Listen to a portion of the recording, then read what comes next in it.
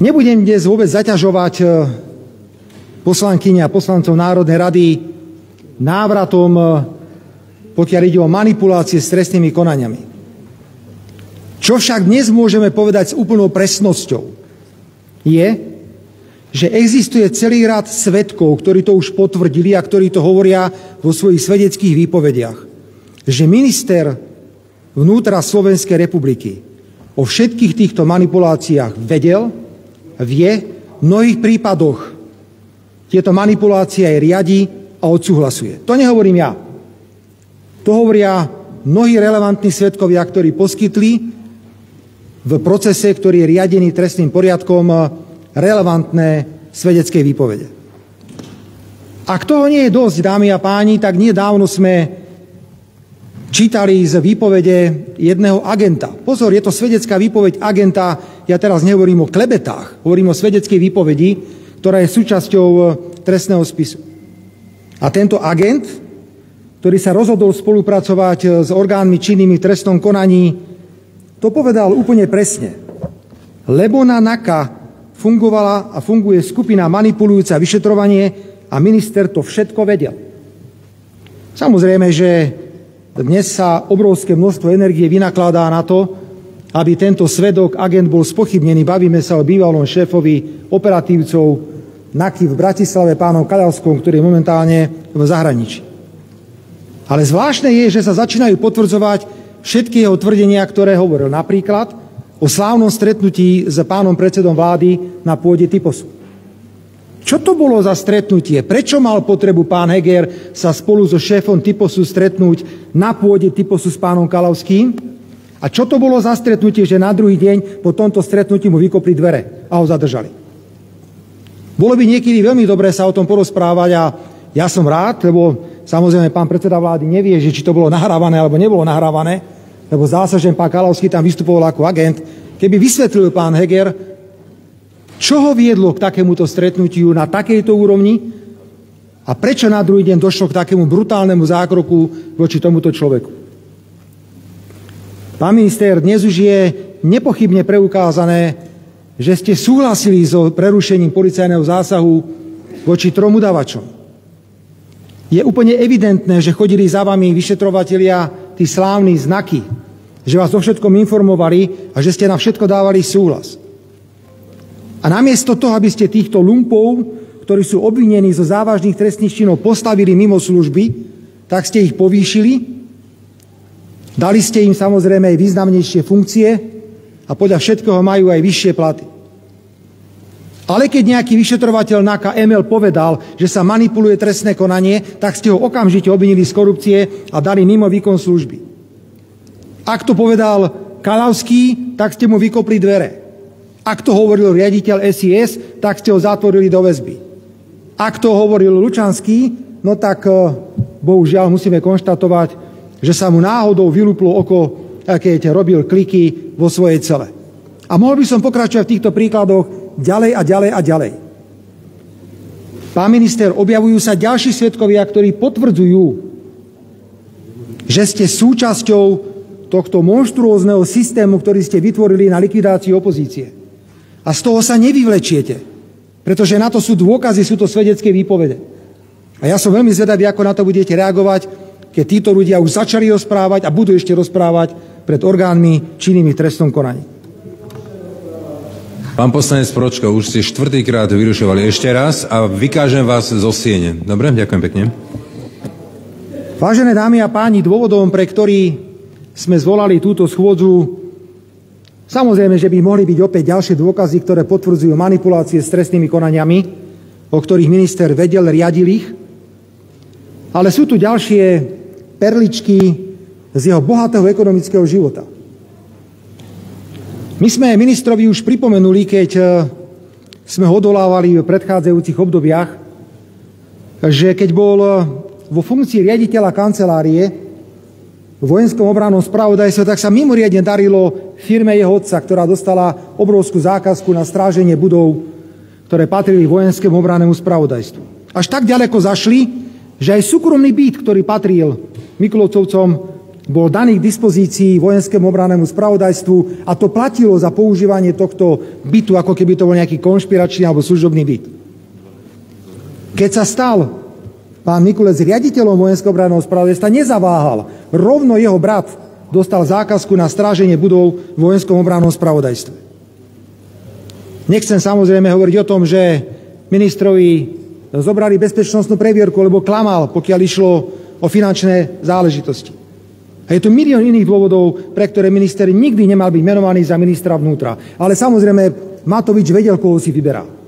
Potreboval človeka, ktorý zabezpečí, že tento monštruózny systém zneužívania trestného práva na boj proti opozícii bude fungovať. A on aj chvíľu fungoval, ale prestáva fungovať, pretože zlyháva. Ak raz chcete robiť politické procesy, viete, že sú vždy spojené s hrubým porušovaním zákonov a ľudských práv. A raz to vidie na povrch. A ja verím, že bude to raz aj predmetom riadneho prešetrenia príslušnými orgánmi, kto akú mieru zodpovednosti niesol za tieto časy v roku 2021 a 2022. Pán minister, všetci si pamätáme, ako ste obhajovali zabezpečenie pomoci štátu v súvislosti s migračnou krízou na slovensko-ukrajinských hraniciach v súvislosti s vojnovým konfliktom na Ukrajine. Dnes musíme konštatovať, že je tu k dispozícii, budem korektný, nie právoplatné, ale rozhodnutie úradu pre verejné obstarávanie, ktoré konštatuje hrubé porušenie zákonov, pokiaľ išlo o, nechcem nazvať verejnú súťaž, lebo žiadnu verejnú súťaž nešlo, išlo o priame zadanie, priame rokovanie s jednou konkrétnou firmou. Spoločnosť pravdepodobne sa to vyslovuje Dustream Production, podpísala na základe prakticky vašeho rozhodnutia rámcovú zmluvu s ministerstvom vnútra v objeme takmer 2,5 milióna eur. S tým, že táto spoločnosť nikdy nemala skúsenosti s takouto formou eh, pomoci štátu v takom rozsahu a v takej kvalite, ako štát v danom okamihu očakáva. Popierali ste, pán minister, že túto firmu vám dohodil pán Slovák, blízky to človek pána Matoviča a pána Hegera, pretože tento človek dlhodobo spolupracuje s politickou stranou Oľano, čo takisto Olano popieralo dlho, priznali len, že osvetloval volebnú noc a že pomáhal v kampani, ale zrazu v roku 2021 vo finančnej výročnej správe tejto strany sa objavuje, že firma pána Slováka GD Identity v roku 2021 dostala najvyšší objem peňazí z Oľano, takmer 100 tisíc eur za rôzne služby. A zaujímavé je, že ste popierali existenciu tohto človeka, ale firma tohto človeka, ktorý je blízky pánovi Matovičovi a Hegerovi, sa stala subdodávateľom spoločnosti Dustream Production. Áno, ja rešpektujem, že bude ešte rozhodovať Rada úradu pre verejné obstarávanie. Ale počúvame, že sa bude rozhodovať až po odchode súčasného šéfa úradu pre verejné obstarávanie a na pozíciu tohto šéfa kandiduje pán Kubička z ministerstva vnútra, ktorý vám robí verejné obstarávanie a ktorý je súčasne aj členom tejto rady. No tak to bude naozaj objektívne a transparentné prehodnotenie celého tohto prípadu. Pravda je aj taká, že Dustream Production eh, nelegálne zamestnával ľudí, čo je prekážka pri priamom eh, rokovaní podľa príslušného zákona. Suma sumárum, pán minister, dali ste v priamom rokovaní veľkú zákazku. 2,5 milióna eur je obrovská suma peňazí. Človeku, ktorý preukázateľne vám bol predstavený a postrčený dvorným mediálnym poradcom a majiteľom firmy, ktorá pomáhala Ojano. Bodka vybavené, skončili sme, už ste mali mať pobalené veci na ministerstve vnútra a mali ste odísť. Žiaľ, toto sa v Olano nedieje. Vy si myslíte, že keď budete oplúvať celé Slovensko, všetkých, všetci kradnete, všetci kradnú, všetci kradnú. A vy pod eh, tými lampami, pod tým najväčším svetlom budete lúpiť že to je všetko v poriadku. Nie, nie, nie. My sme príliš skúsení politici na to, aby sme prehliadli túto hru. príliš skúsení a vieme, že je našou povinnosťou slovenskej verejnosti hovoriť o tom, že kradnete ako straky. Hneď na to došiel druhý prípad, ktorý je podľa mňa ešte zaujímavejší a tam ste už úplne išli na drzovku, pretože keď ste pomáhali bratovi a držali ste sa filozofiou to vlastnému bratovi nepomôžem, tak ste sa pustili do stráženia budovy nemocnice svätého Michala, ktorá patrí pod ministerstvo vnútra.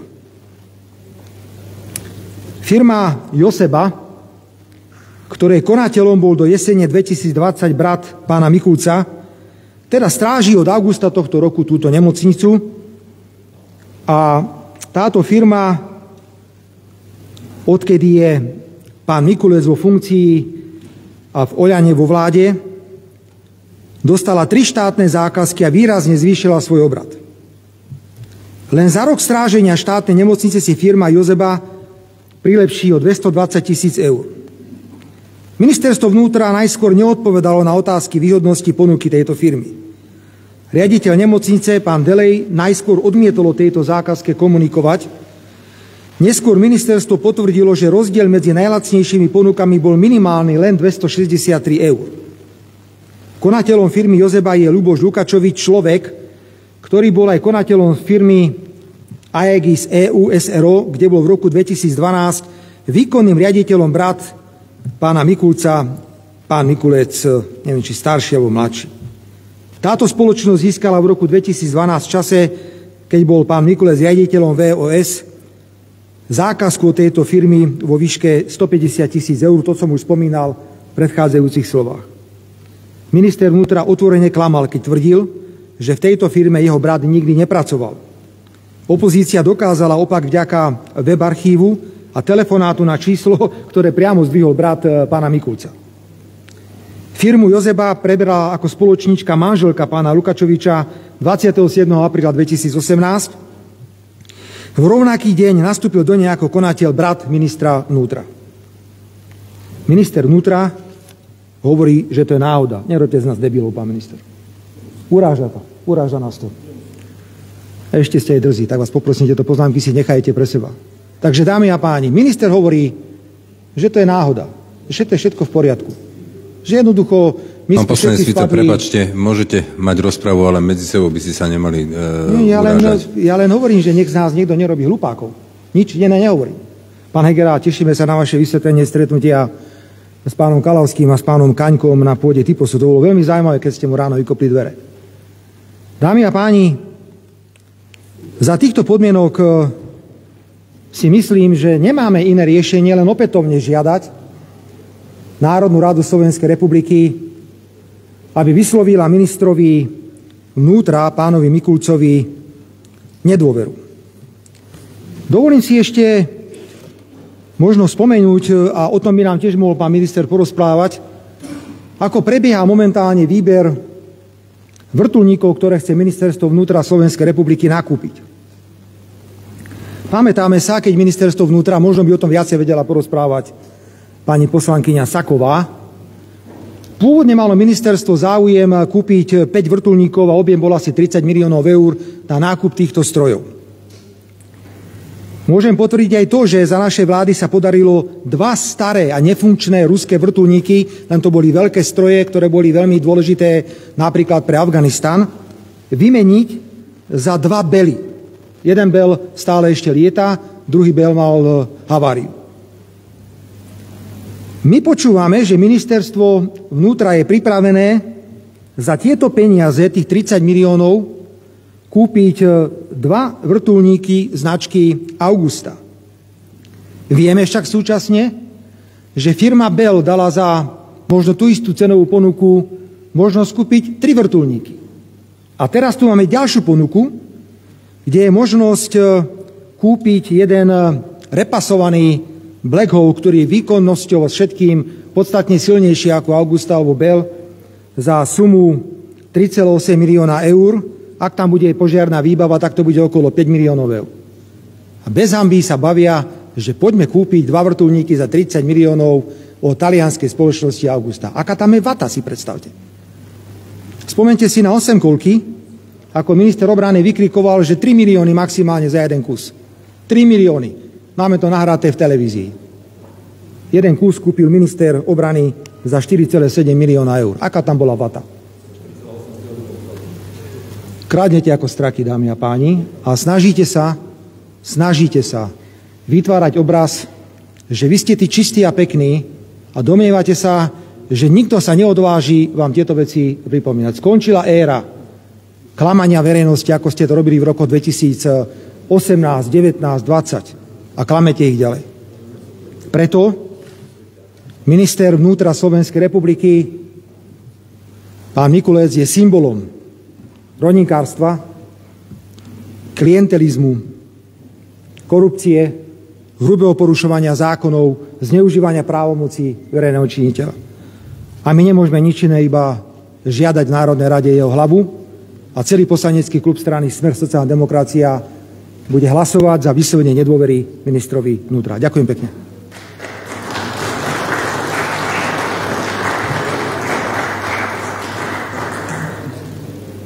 Dávam slovo spravodajcovi z Výboru pre obranu a bezpečnosť poslancovi Igorovi Husovi, aby informoval Národnú radu o výsledku prerokovania tohto návrhu vo výbore.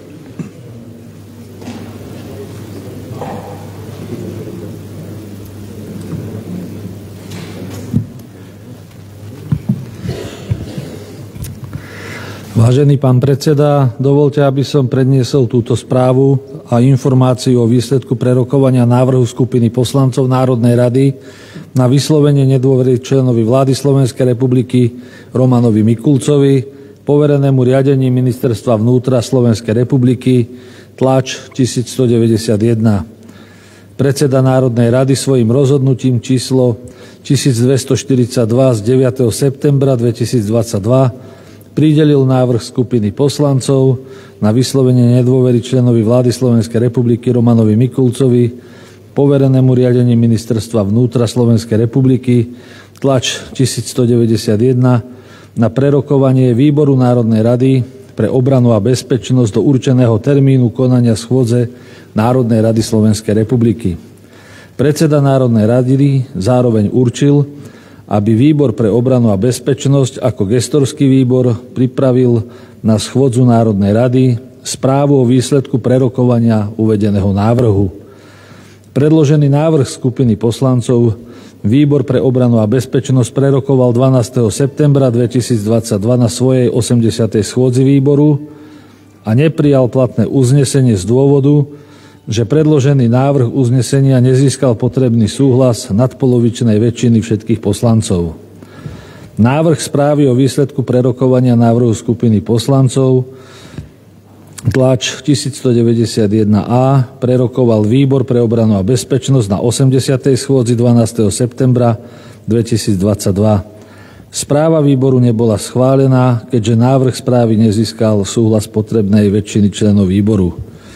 Predseda výboru pre obranu a bezpečnosť v súlade s rokovacím poriadkom poveril poslanca Národnej rady Igora Husa, aby na schôdzi Národnej rady informoval o výsledku prerokovania návrhu skupiny poslancov Národnej rady na vyslovenie nedôvery členovi vlády Slovenskej republiky Romanovi Mikulcovi, poverenému riadení Ministerstva vnútra Slovenskej republiky, tlač 1191 a poslancov Marcela Mihálika, Lukáša Kyselicu a Anu Andrejovovú, aby tiež plnili úlohy spravodajcov.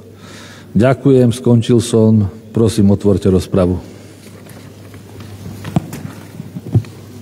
Stanovisko vlády Slovenskej republiky k podanému návrhu na vyslovenie nedôvery odôvodní podpredseda vlády a minister financí Igor Matovič, ktorému odozdávam teraz slovo.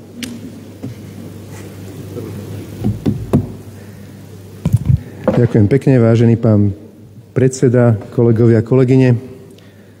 Či dovolte, aby som najprv predstavil písomné stanovisko vlády a potom sa vyjadril k tomu osobne.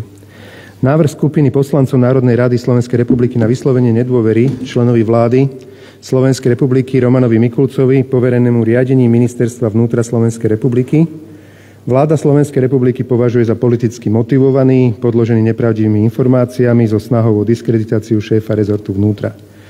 Minister vnútra Roman Mikulec si robí svoju prácu profesionálne a odborne so zreteľom na občana a jeho pomoci na prvom mieste.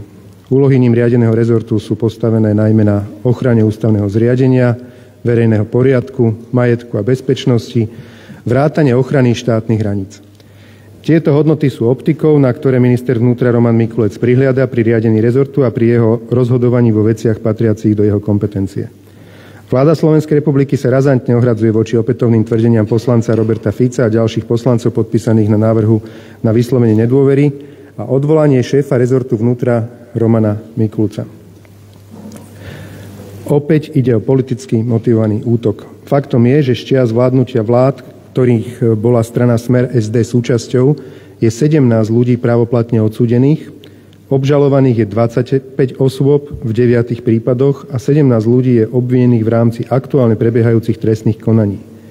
Predseda strany Smer SD Robert Fico a jeho kolegovia verejne klamú a podsúvajú aj v tomto návrhu iba svoje fantázie ako fakty.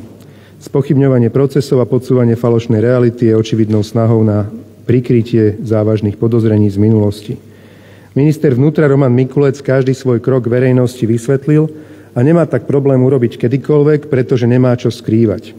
Snaha o odvolanie Romana Mikulca z funkcie je len dôkazom strachu, že ich dobehnú ich vlastné kroky z minulosti. Na základe uvedených skutočností vláda Slovenskej republiky nesúhlasí s návrhom skupiny poslancov Národnej rady Slovenskej republiky na vyslovenie nedôvery členovi vlády Slovenskej republiky Romanovi Mikulcovi, poverenému riadení ministra, ministerstva vnútra Slovenskej republiky.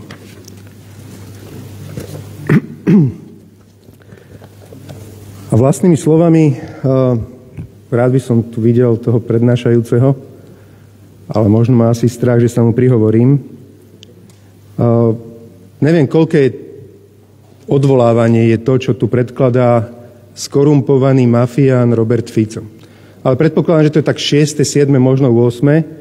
A myslím si osobne, že čím viac ich bude, tým e, je to väčší dôkaz toho, že minister vnútra si robí svoju robotu správne. Lebo mafia sa spravodlivosti bojí a ak mafia využíva svoje postavenie v Národnej rade, kde sa bohužiaľ nachádzajú jej zástupcovia, a zvoláva takéto schôdze, je to len eh, znakom toho, že minister vnútra si robotu robí tak, ako ju robiť má.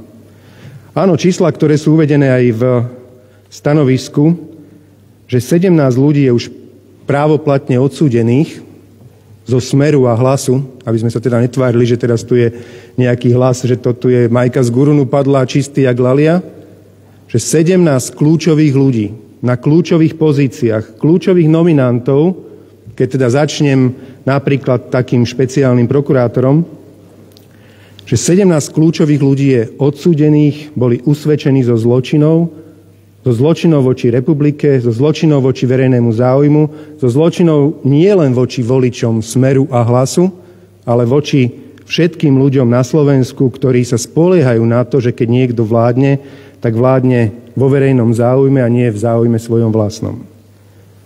Ďalších 25 ľudí je obžalovaných, čiže už sú na ceste k svojmu odsúdeniu v deviatých rôznych prípadoch.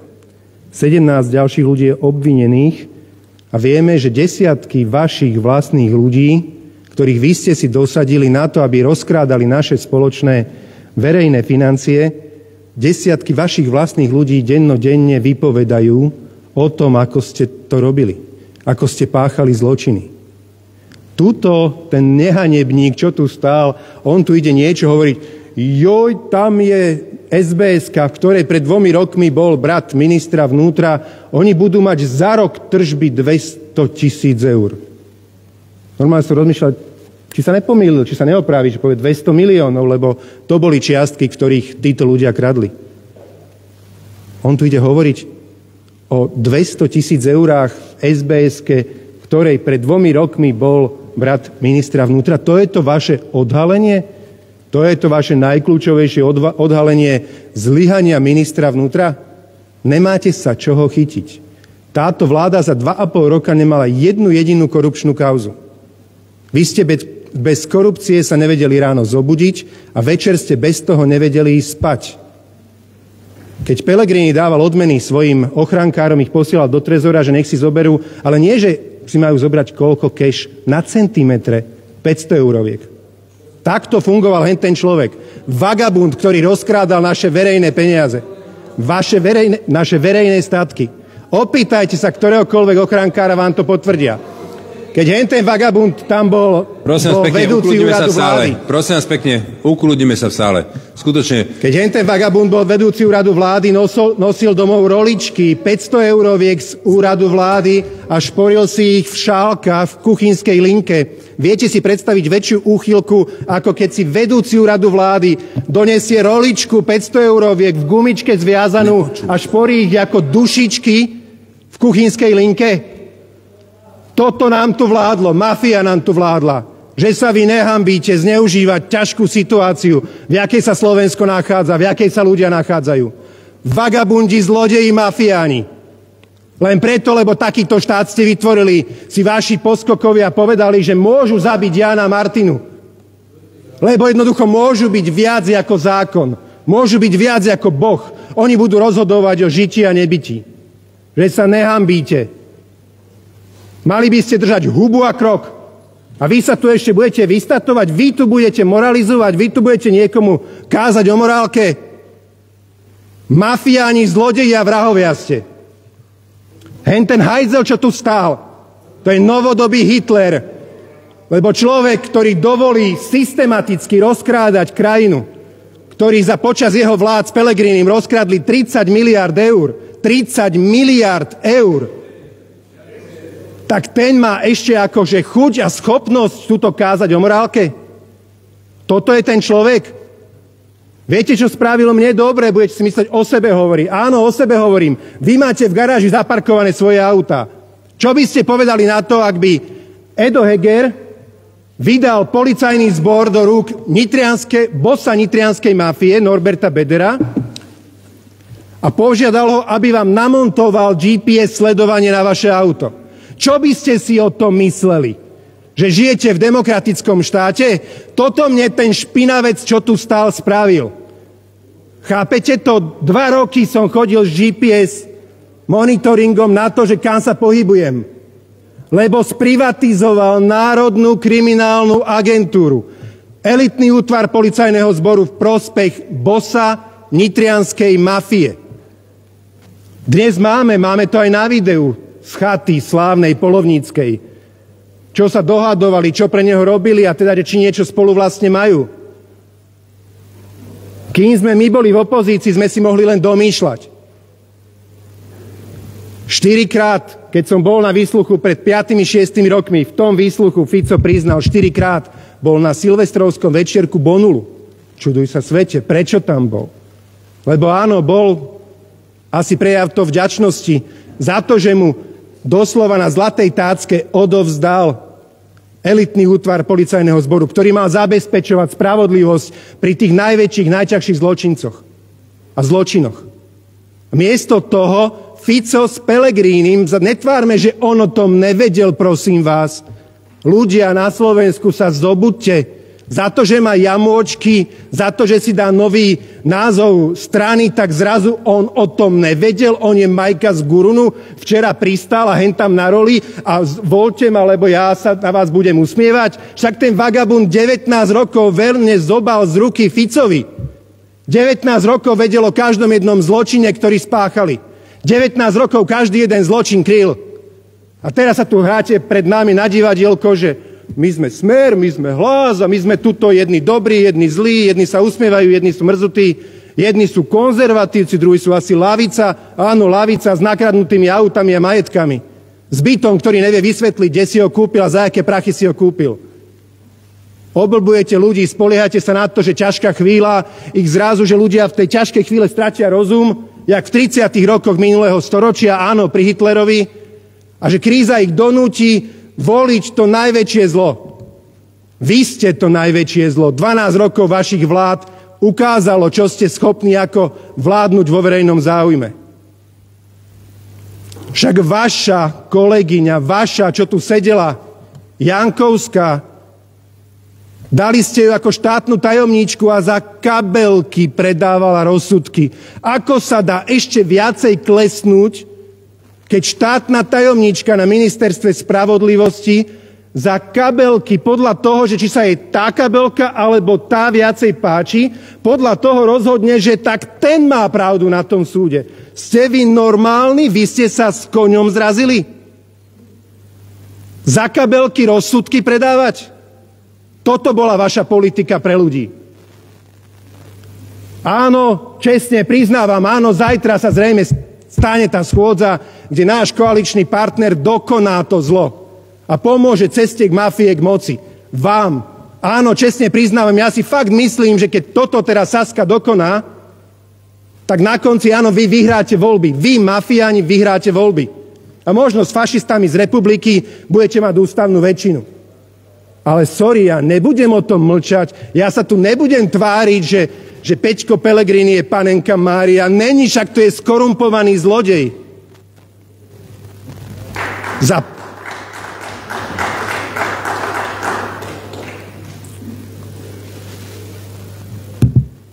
za 15 miliónov 402 tisíc a 313 eur ten skorumpovaný zlodej, čo úplatky rozdával ochrankárom na centimetre bankoviek na úrade vlády, za 15 miliónov 403, 2313 eur objednal tzv. virtuálnu registračnú pokladňu. Viete, hovorím o tom, lebo to patrí pod ministerstvo financií, alebo patrí to pod finančnú správu. Za 15,4 milióna eur 15,4 milióna eur. A my sme si povedali, že my nebudeme túto tým zlodejom alebo kolaborantom Pelegriniho, my im nebudeme platiť za údržbu 2 milióny eur ročne. A chlapci na finančnej správe sa nasrali a povedali si, že oni to naprogramujú radšej sami, ako by nejakému Pelegriniho zlodejovi tam nadalej do Gágora tlačili milióny. A viete, za koľko to naprogramovali oni?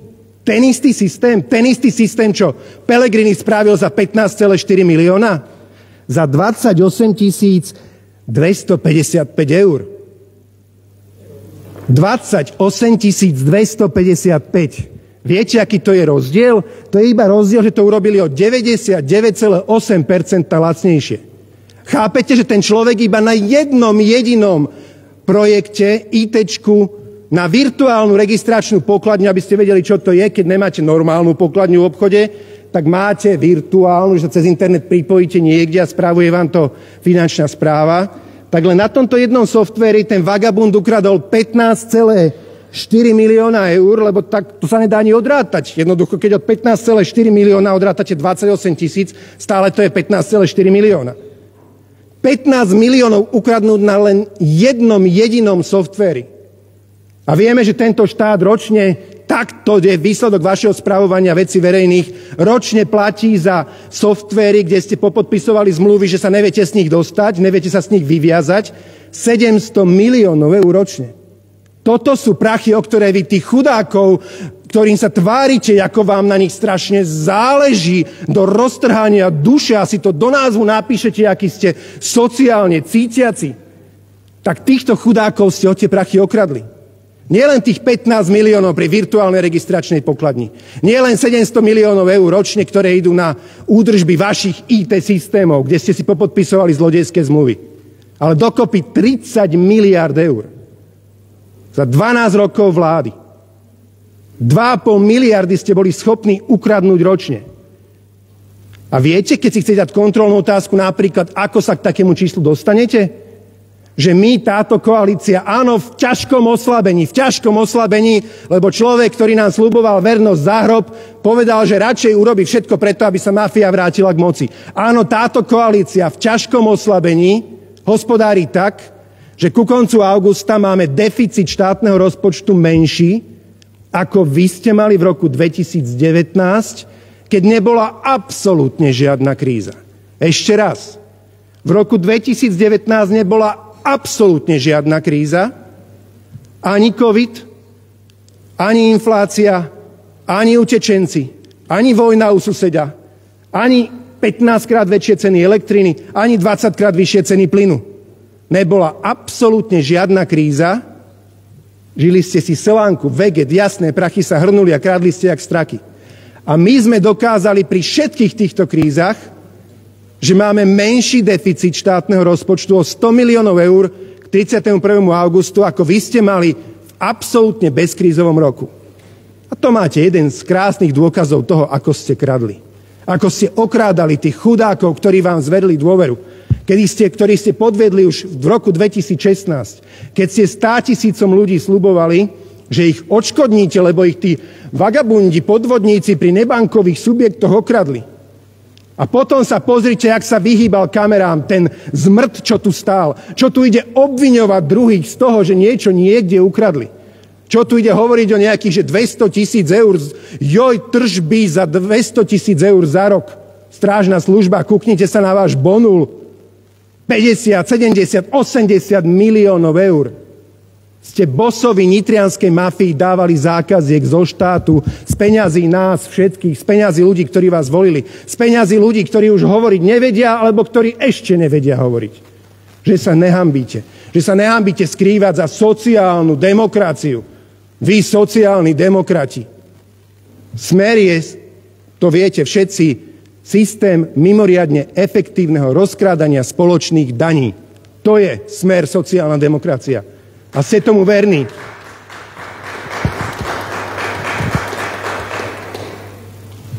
Čiže vy máte morálne právo?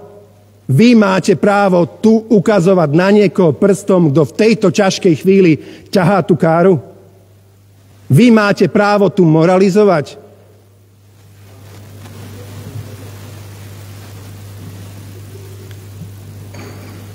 Bude to ťažké, hovorím teraz k tejto našej časti. Ideme, ideme do strašne ťažkého obdobia.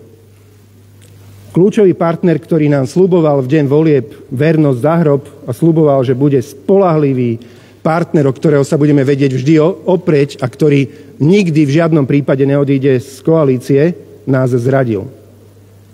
Viem, že ideme do oslabenia, ale chcem vás všetkých poprosiť, bojujme čestný boj. Nevyjednávajme s nimi. Nech sa ukáže, kto tu je ten, komu záleží na ľuďoch a komu záleží len na samom sebe. Ja pevne verím, že v SAS sa nájdú aspoň jeden, dvaja, traja čestní ľudia, ktorí si povedia, že pod toto sa nepodpíšu. Lebo dnes nahrávať tejto mafii, ktorá tu dnes o morálke káže, je ťažký hriech voči Slovensku, voči verejnému záujmu, voči každému, komu na Slovensku záleží.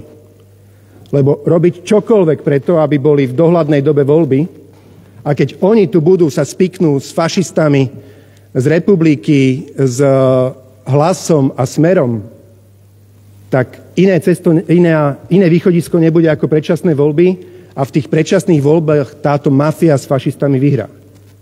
Bude to katastrofa pre Slovensko, o ktorej sa nám ani nesníva a chcem z tohto miesta vyzvať každého poslanca v SAS, ktorému trochu na Slovensku záleží. Vidím tu síce len dvoch, ale poviem to k pánovi Benčíkovi, lebo si ho vážim aby si uvedomil pri hlasovaní, ktoré budú, alebo hlasovania, ktoré budú pri nasledujúcej schôdzi prichádzať, na ktorej strane dejín chce v budúcnosti stať.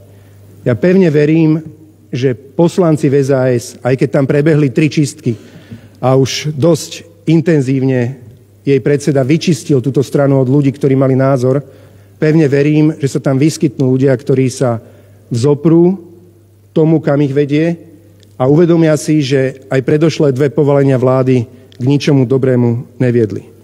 Každopádne držím prsty Romanovi Mikulcovi ako ministrovi vnútra a čím tých podlých odvolávaní budete dávať, tým viac to bude pre nás a pre mňa osobne dôkaz toho, že si robí svoju robotu správne. Slúbili sme ľuďom spravodlivosť pre všetkých. Slúbili sme, aby sme si boli pred zákonom rovní. A toto robíme, toto chránime a toto robí Roman Mikulo zo svojej pozície. Možno niekomu z vás sa môže zdať, že sa nie často zastáva policajtov. Aj sme sa spolu o tom rozprávali a môj názor osobný je, nemal by sa ich zastávať. Lebo čím viac minister vnútra sa stará do práce policajného zboru, tým viac to môže práve takáto mafia, ktorá je vystavená spravodlivosti, zneužívať na to, aby hovorili, že to je politizovanie alebo politikárčenie a policajný zbor nie je nezávislý. Zastávať sa policajtov je v prvom rade úloha policajného prezidenta, možno všetkých ostatných politikov, ale myslím si osobne, že by Roman Mikulec v žiadnom prípade nemal robiť to, čo robil Robert Kaliňák, kde doslova sa tváril ako keby, že on je policajný prezident. A v skutočnosti od tých informácií, ktoré postupne prichádzajú, vieme, že presne takto to aj fungovalo. Jednoducho policajti jemu zaviazaní robili na objednávku to, čo si u nich objednali. A nie len Robert Kaliňák, ale aj Peter Pellegrini alebo Robert Fico. Je to nehanebné, stretávali sa na úrade vlády s ľuďmi, ktorí dnes sa priznávajú k zločinom, ktorí o tom svedčia, ktorí sa priznávajú k tomu, ako zneužívali postavenie, či už na finančnej správe, aby odtiaľ vyťahovali informácie a posúvali ich cez Erika Tomáša, Robertovi Ficovi a spol, aby on potom následne hovoril o 13. komnate uh, Igora Matoviča a podobne. Áno, nebolo to príjemné. Keď som zistil, že som dva roky chodil s GPS sledovaním, ktoré si objednali vaši potentáti u bosa nitrianskej mafie Norberta Bedera. Nebolo to príjemné. Nebolo to príjemné, keď som si čítal v spise, ako ma sledovali s autom a dlhé týždne chodili za mnou na ceste z práce do roboty. Bez akéhokoľvek zákonného titulu a robili a zneužívali na to príslušníkov Národnej kriminálnej agentúry. Bolo mi celkom úsmevné alebo smiešné, keď som si prečítal, že ich výstup na konci, že sledovaný objekt vedie uh, nie príliš zaujímavý život, ide z roboty do práce a z roboty do práce. Ale každopádne to nikomu z vás, uh, aj keď si, by ste si možno mysleli, že ste moji nepriatelia, povedzme, že ste politické súperi, nikomu z vás to neprajem. Aby vám niekto chodil tajne po byte, aby sa vám niekto hľabal v súkromných veciach, aby vás tajne sledovali príslušníci Národnej kriminálnej agentúry, ktorých bokom platia vaši potentáti, aby vám namontovali na auto GPS sledovanie a dva roky ste chodili všade možné a oni o vás a o vašom pohybe presne vedeli. Je to nepríjemné, je to nezákonné, nie je to v súlade s morálkou, ale takto ste spravovali štát vy. Rozkrádali ste, kriminalizovali ste a dávali ste pocit ľuďom, ktorým ste tie orgány činné v trestnom konaní vydali, že môžu všetko a dopadlo to tak, že zavraždili Jána a Martinu. A tá krv tečie z vašich rúk. Všetci, ktorí kolaborujete s Robertom Ficom a s Petrom Pellegrini, všetci ste zodpovední za smrť týchto ľudí. Lebo vy ste ten systém stvorili. Držím palce Romanovi Mikulcovi.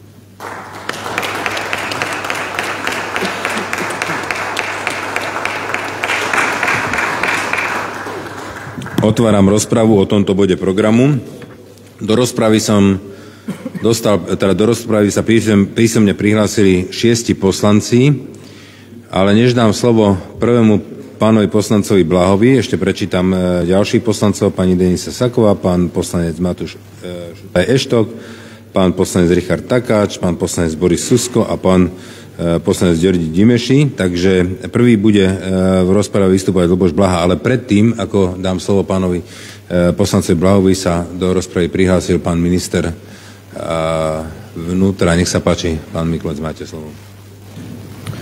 Ďakujem, pán predseda, za slovo. Dámy a páni, dovolte, aby som zareagoval na dôvody, pre ktoré ma chce Robert Fico po 7 krát odvolávať a pôjdem, e, budem sa snažiť ísť e, bod po bode, tak ako to spomínal.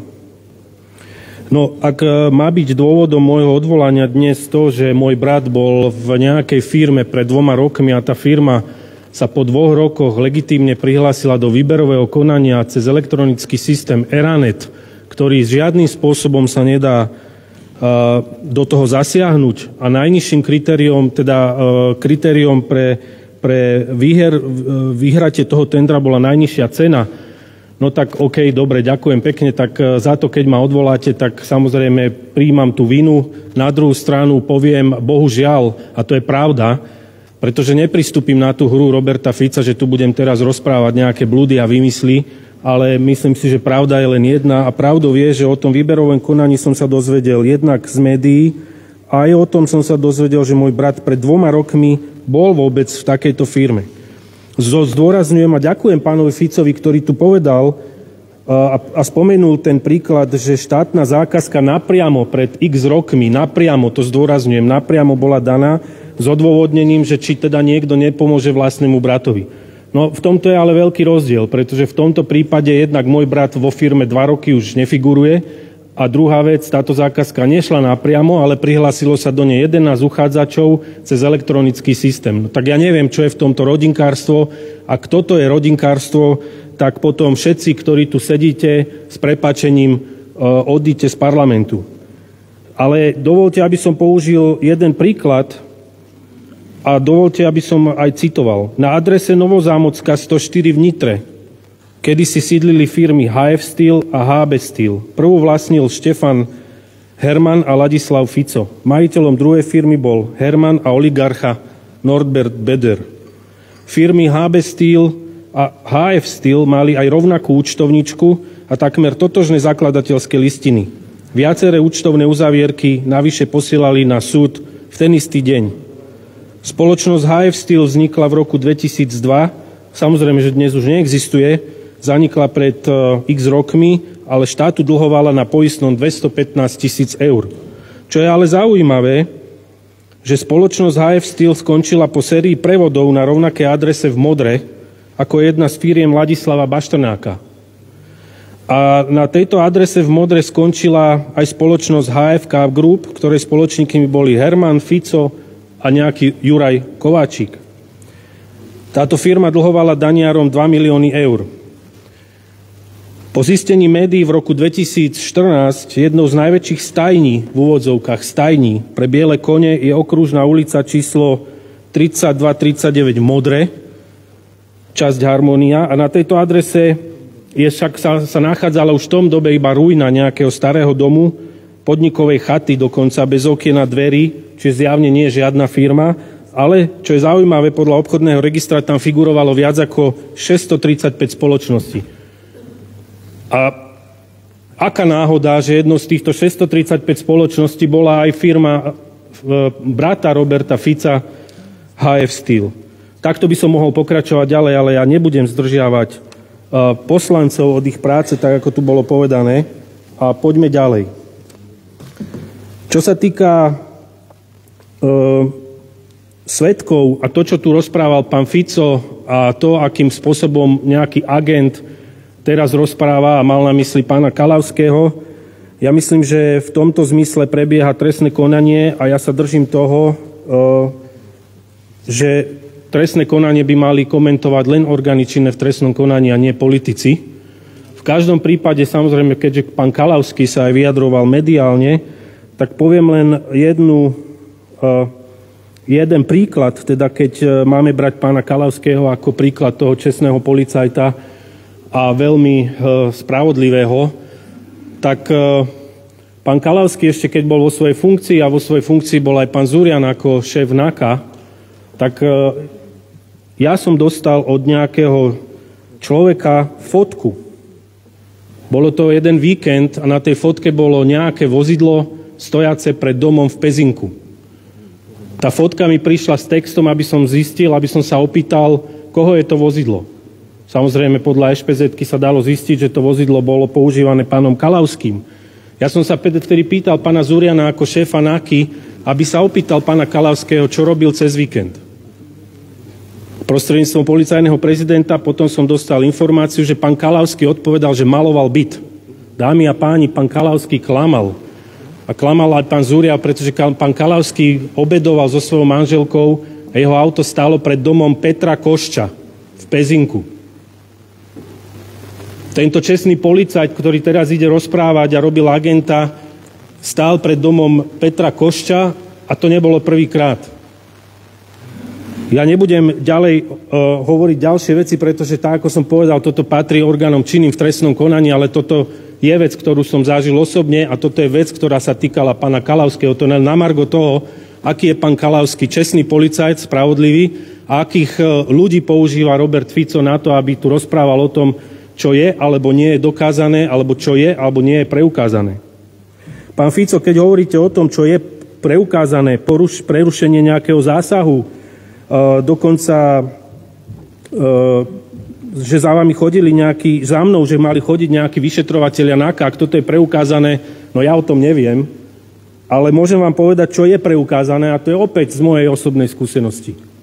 Pretože preukázané aj súdom rozhodnuté je, že za vašej vlády v roku 2012 až 2016 e, prebiehali trestné konania, ktoré boli politické. A ja som bol napríklad, môžem o tom hovoriť otvorene, aj ich súčasťou.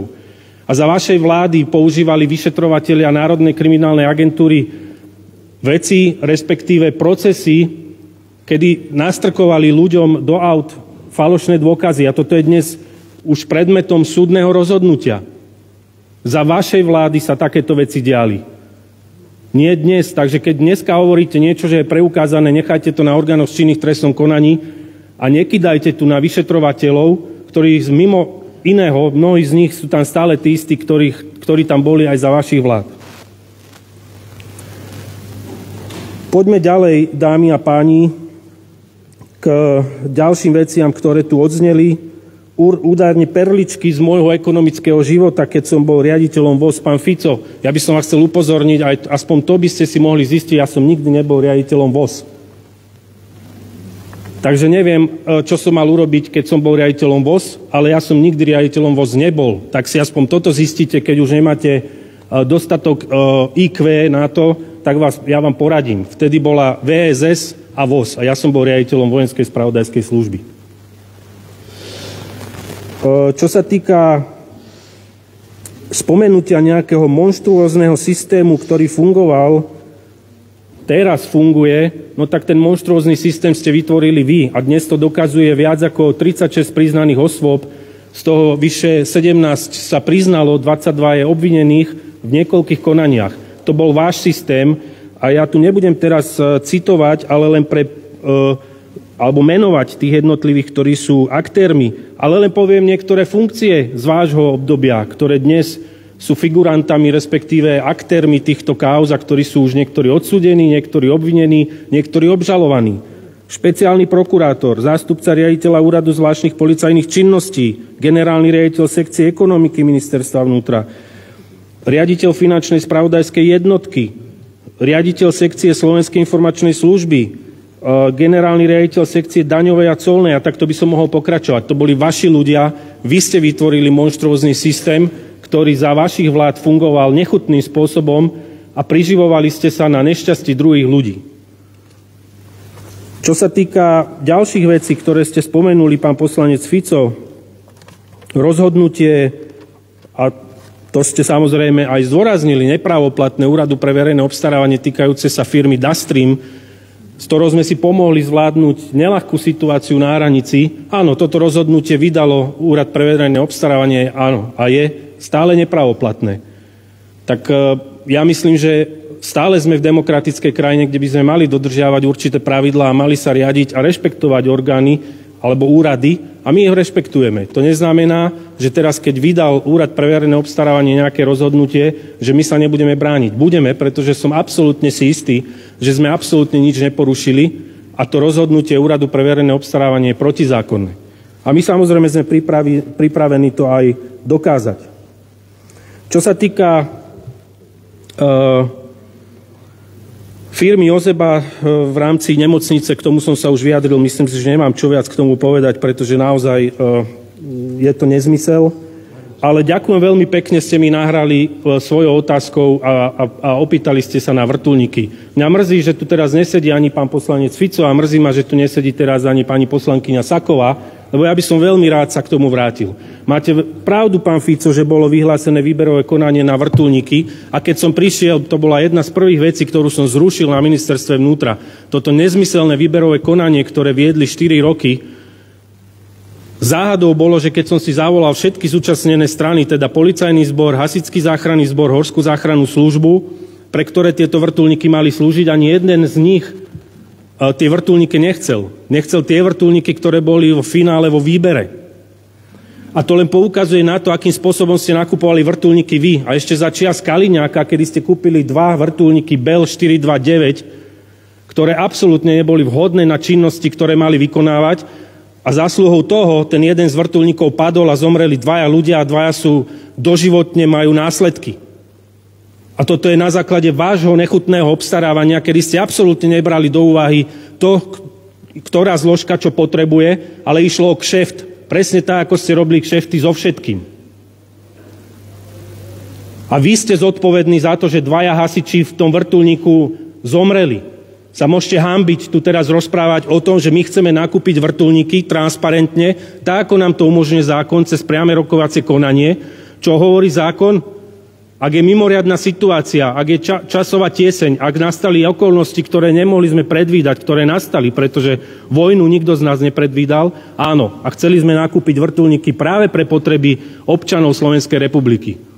Pretože vrtulníky, ktoré dnes k dispozícii letka ministerstva vnútra má, sú ruské, MIL 171 a bohužiaľ viete veľmi dobre všetci, že sankciami na Ruskú federáciu, vojnou sme sa samozrejme e, dostali na zoznam rovnako všetkých krajín, ktoré sú odrezané od náhradných dielov, od servisu a všetkého. Ak nám prestanú tieto vrtulníky lietať, tak ja som zvedavý, kto z vás, pani poslanci za Smer a ostatní, ktorí to idete kritizovať, pôjdete potom hovoriť občanom, že prepáčte, nechodte dohovor, lebo keď si dolámete nohy, nebudeme mať aký vrtulník pre vás poslať.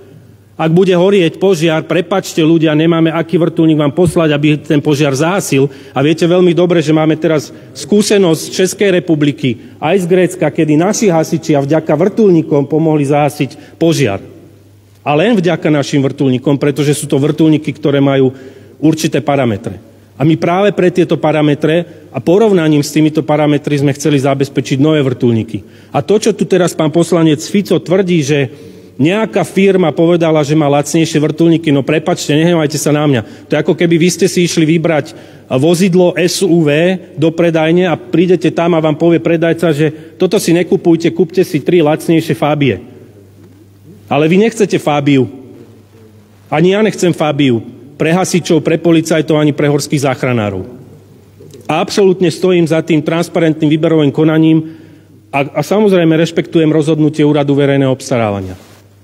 A čo sa týka, e, čo sa týka e, ponuky Black Hawk, tak ako tu bolo povedané, prosím vás pekne, naozaj e, začínam pochybovať o, o, mm, o tom, že ste schopní si vôbec zadovážiť nejaké relevantné informácie. Ak niekto ponúka vrtulník Black Hawk za 3,8 milióna dolárov, nehnevaj sa na mňa, ja snad nebudem ten, ktorý kúpim starú vylietanú herku za 3,8 milióna dolárov, keď nový vrtulník Black Hawk stojí 50.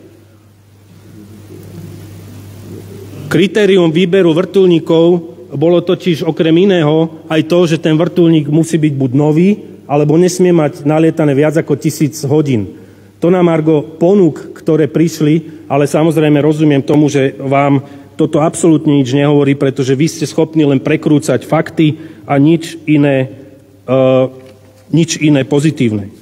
A k tomu sa dostávam k tomu, dámy a páni, aby som povedal, viete, keď uh, musím sa vrátiť aj k tým výrokom spred pár dní, kedy pán Fico povedal o vyšetrovateľov, že sú zvery. Tak poďme k tomu, aby sme si povedali, kto sú tie zvery. A ja sa vrátim k, k, k časom, kedy bola pandémia a naozaj to neboli ľahké veci a žiadna z krajín nevedela uh, čo, čo ju čaká. Bojovali sme rovnako ako mnohé iné krajiny a snažili sa pomôcť ľuďom. Čo ste robili vy ako opozícia? Ani raz ste nepomohli, ani jeden príklad, ani jeden návrh, ako, ako tú situáciu zvládnuť lepšie, ale čo ste robili? Chodili ste na námestia, burcovali ľudí, aby nenosili rúška, aby nedodržiavali opatrenia, ale samozrejme však, keď už potom to dostihlo aj vás, tak budem citovať zo, zo z chaty, kde sa stretol pán Fico, Kaliňák, Para, Gašpar a Beder, kde sa bavili o tom, okrem iného, aj čo sa týkalo e, choroby COVID, a kde, budem citovať, predseda Smeru sa pred advokátmi a Bederom starším priznal k tomu, ako na dovolenke v Grécku prekonal COVID a ako omdlel, bol v nemocnici, potom v karanténe a ako si sfalšoval výsledok PCR testu, aby sa mohol vrátiť na Slovensko. O covide hovoril ako o strašnej chorobe, ktorej následkom sa nevie zbaviť ani po niekoľkých týždňoch. Prosím vás pekne, kto sú zvery? Vy ste boli zvery. Toto je človek, ktorá, ktorý je zver.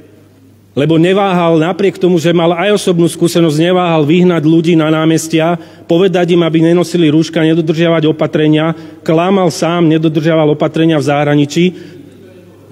Jakže to nikdy nepovedal? Čo rozprávate? Ne, nehnal ľudí na námestia? Jasné, jasné. Tak vy, akože áno, dobre. Dobre. Páni poslanci, A nechajte vystupovať pána ministra toho, samozrejme, a nerušte ho. a, a vďaka tomu x ľudí zomrelo. Tak kto je zver, prosím vás pekne? Jediná zver, ktorá, ktorá tu je, je, je ten, ktorý tu ide obhajo, teda obviňovať druhých, že sú zvery. Pán poslanec. Keď sa, keď sa vrátim k ďalšiemu, začala vojna. Čo ste urobili? Ani jedným vašim príspevkom ste nepomohli k tomu e, pomôcť e, ľuďom, ktorí prichádzali z Ukrajiny, pomôcť zvládnuť celú túto situáciu. Naopak, zase ste len spochybňovali, či vôbec vojna, idete sa obracať k Rusku, teraz si pozvete na dozvolená na vaše dejchanky veľvyslanca Bieloruska, Ruska, však potom mi hovorte, kto sú zvery. Vy ste zvery. A je, je taká jedna zver ináč, je, je taká, môžete ukazovať e, vaš, niekomu z vašej rodiny, a nie mne, dobre? Môžete ukazovať niekomu z vašej rodiny, nie mne. Vy ste zvery. A je taká zver ináč, pozrite si kľudne e, National Geographic, tam je také, sa volajú, že hyeny. Že hyeny. Páni poslanci, Tie, tie aj keď viem, presne, že tie využívajú sa vám to nepáči, druhých, lebo, pána lebo tie hyeny není ani pokoj. schopné ísť do rovného boja. Tie hyeny čakajú len na to, keď je niekto zranený, chorý, alebo je nejakým iným spôsobom uh, a, a potom zautočia. Vy ste presne, však ja to vidím normálne, vidím. Páni poslanci, ja viem, že sa vám možno nepáči, čo hovorí pán minister, ale poprosím vás o pokoj. A samozrejme, Prihláste sa samozrejme sa dostanem k tomu aj čo sa týka energii. Ďalšia kríza vystriedala energie a robíte presne to isté. Ani jeden návrh pozitívny, ani jeden konštruktívny návrh, ako pomôcť ľuďom, lebo vás ľudia nezaujímajú. Za x rokov, za 12 rokov vás ľudia na Slovensku nezaujímajú. Vás zaujímajú len vy sami, vaše, vaše vrecká, to, čo môžete kde ukradnúť, to, čo môžete komu ubližiť. Toto zaujíma vás. Vás ľudia na Slovensku nezaujímajú. Takže dámy a páni, dovolte, aby som e, ukončil svoje vystúpenie len jedným e, spomenutím jedného výroku, ktorý tu takisto povedal jeden z vašich ľudí. A ja by som bol veľmi nerád, aby sme sa vrátili do tej doby. A ten človek vtedy povedal, vyhraj voľby a môžeš všetko. Toto by nemalo platiť a už nikdy by sme sa k tomu nemali vrátiť. A toto, títo ľudia, ktorí tu sú, by malo byť odstrašujúcim príkladom pre všetkých. Nielen pre vás, ale aj pre občanov Slovenskej republiky. Ďakujem pekne.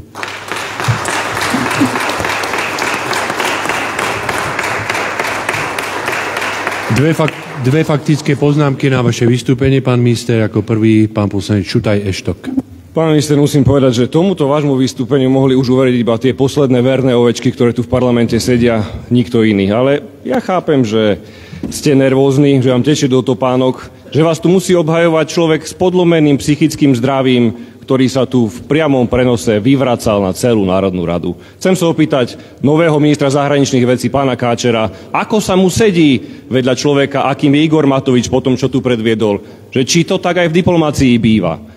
Aj pána premiéra Hegera, ktorý sa priblblo usmieval, keď tu Igor Matovič klamal v priamom prenose a všetkých osočoval. Ale chápem, bojíte sa, pretože akými zbraniami bojujete, takými zhyniete. A viete veľmi dobre, že keď táto vláda, ktorú slovenský ľud nenávidí, padne, tak sa môže stať, že padnete aj vy a spravodlivo si pre vás príde. A keď máte tú drzosť a kožu na tvári obhajovať tento monštrózny systém, ktorý ste vybudovali vy, Matovič, Lipšic, Hamran a vami podobný, tak priamy svedok, ktorý bol svedkom týchto zverstiev, povedal v rozhovore toto. Volal som Čurilovi, to je ten jeden z vašich chlapcov, vyšetrovateľov. V súvislosti s neskôr obvineným kolegom Kučerkom a Čurila mi povedal, neboj sa, čo skoro budeš mať možnosť ísť k ním domov a môžeš mu zastreliť deti. Toto tu je normálne? Toto je normálny systém, ktorý ste vybudovali vy? Že Čurilovci idú zastreliť deti? Nehambíte sa? Vy máte tú kožu na tvári? Máte ju? Môžete sa hámbiť, že tu vôbec sedíte v tomto parlamente, pretože keby tu bola normálna demokracia, aby by si bol normálny minister, už dávno podáte demisiu, už dávno ju podá neschopný, nekompetentný premiér Heger a človek, ktorý tu pred vami sa vyvracal na celý parlament, už by dávno v kazajke sedel na celé psychiatrickej. Faktickou poznámkou pán poslanec Blaha. Pán Mikulec, e, psychická choroba Igora Matoviča je zjavne prenosná, vy ste jeho prvou obeťou.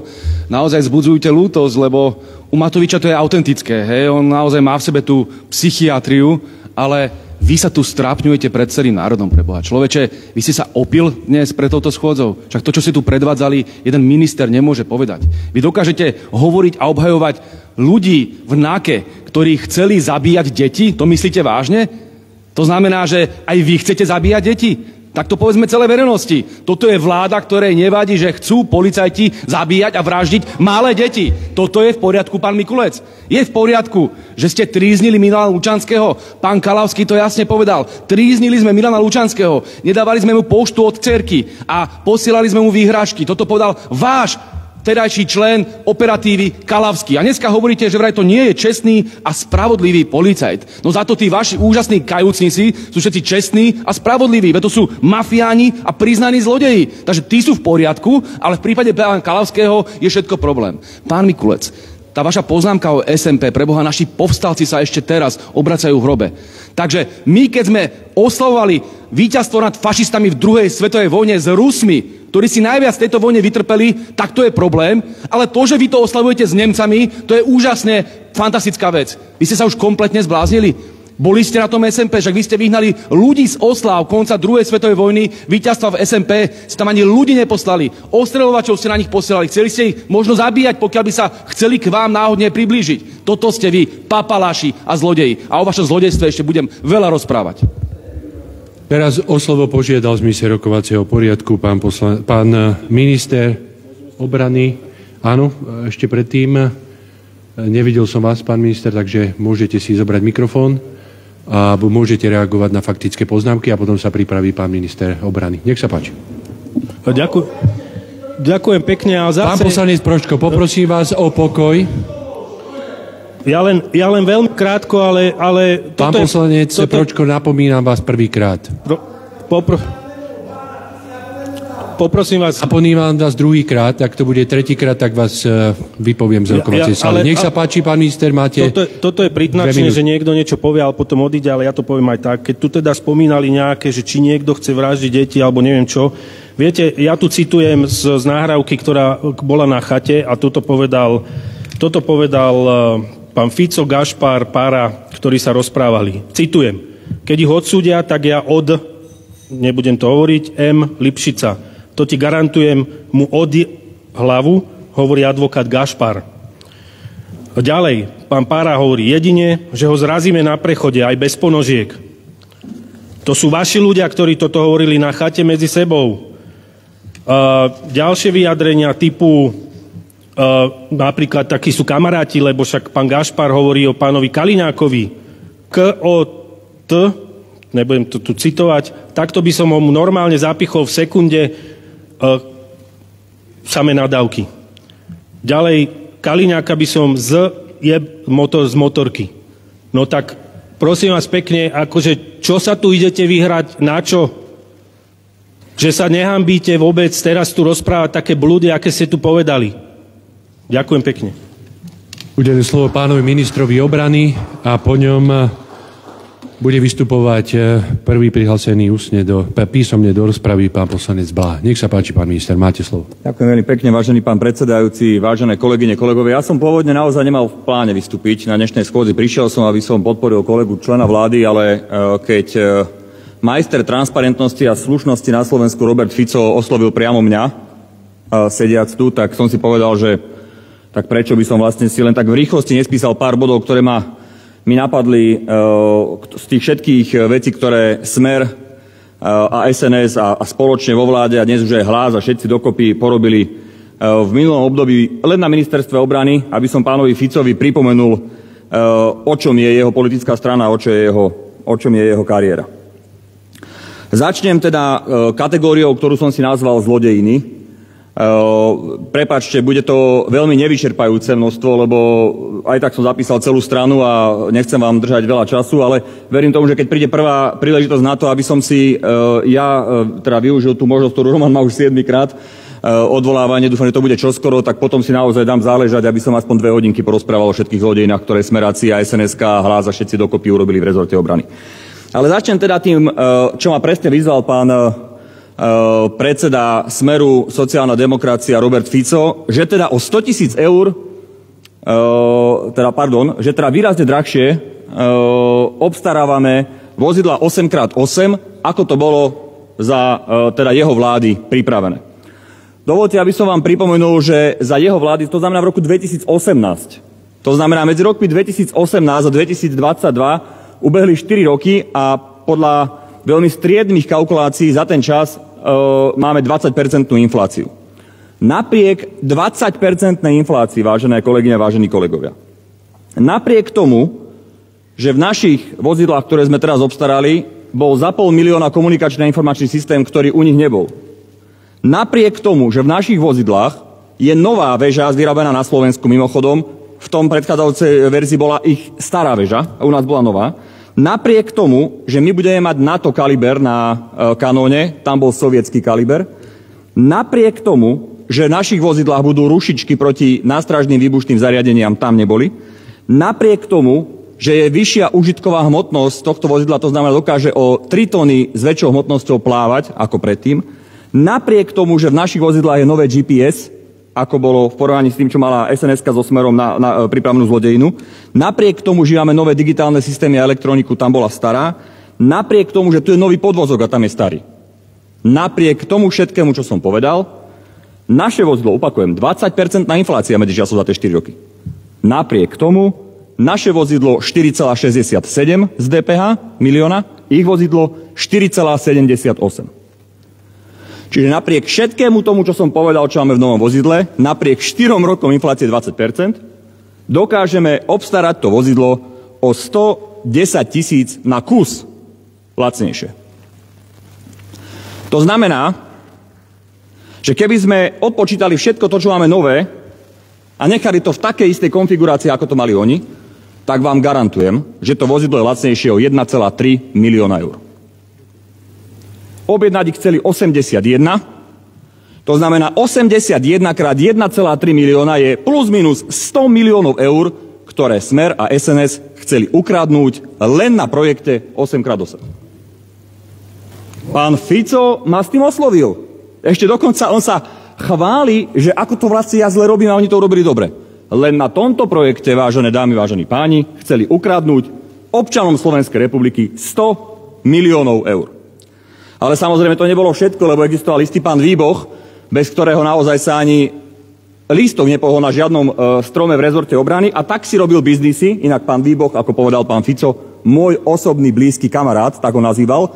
To znamená Ficov blízky kamarát, mimochodom sa schováva niekde v zahraničí teraz však, pred spravodlivosťou, tak ten sa postaral o to, že sa obstarávali lietadla Spartan u nás v rezorte.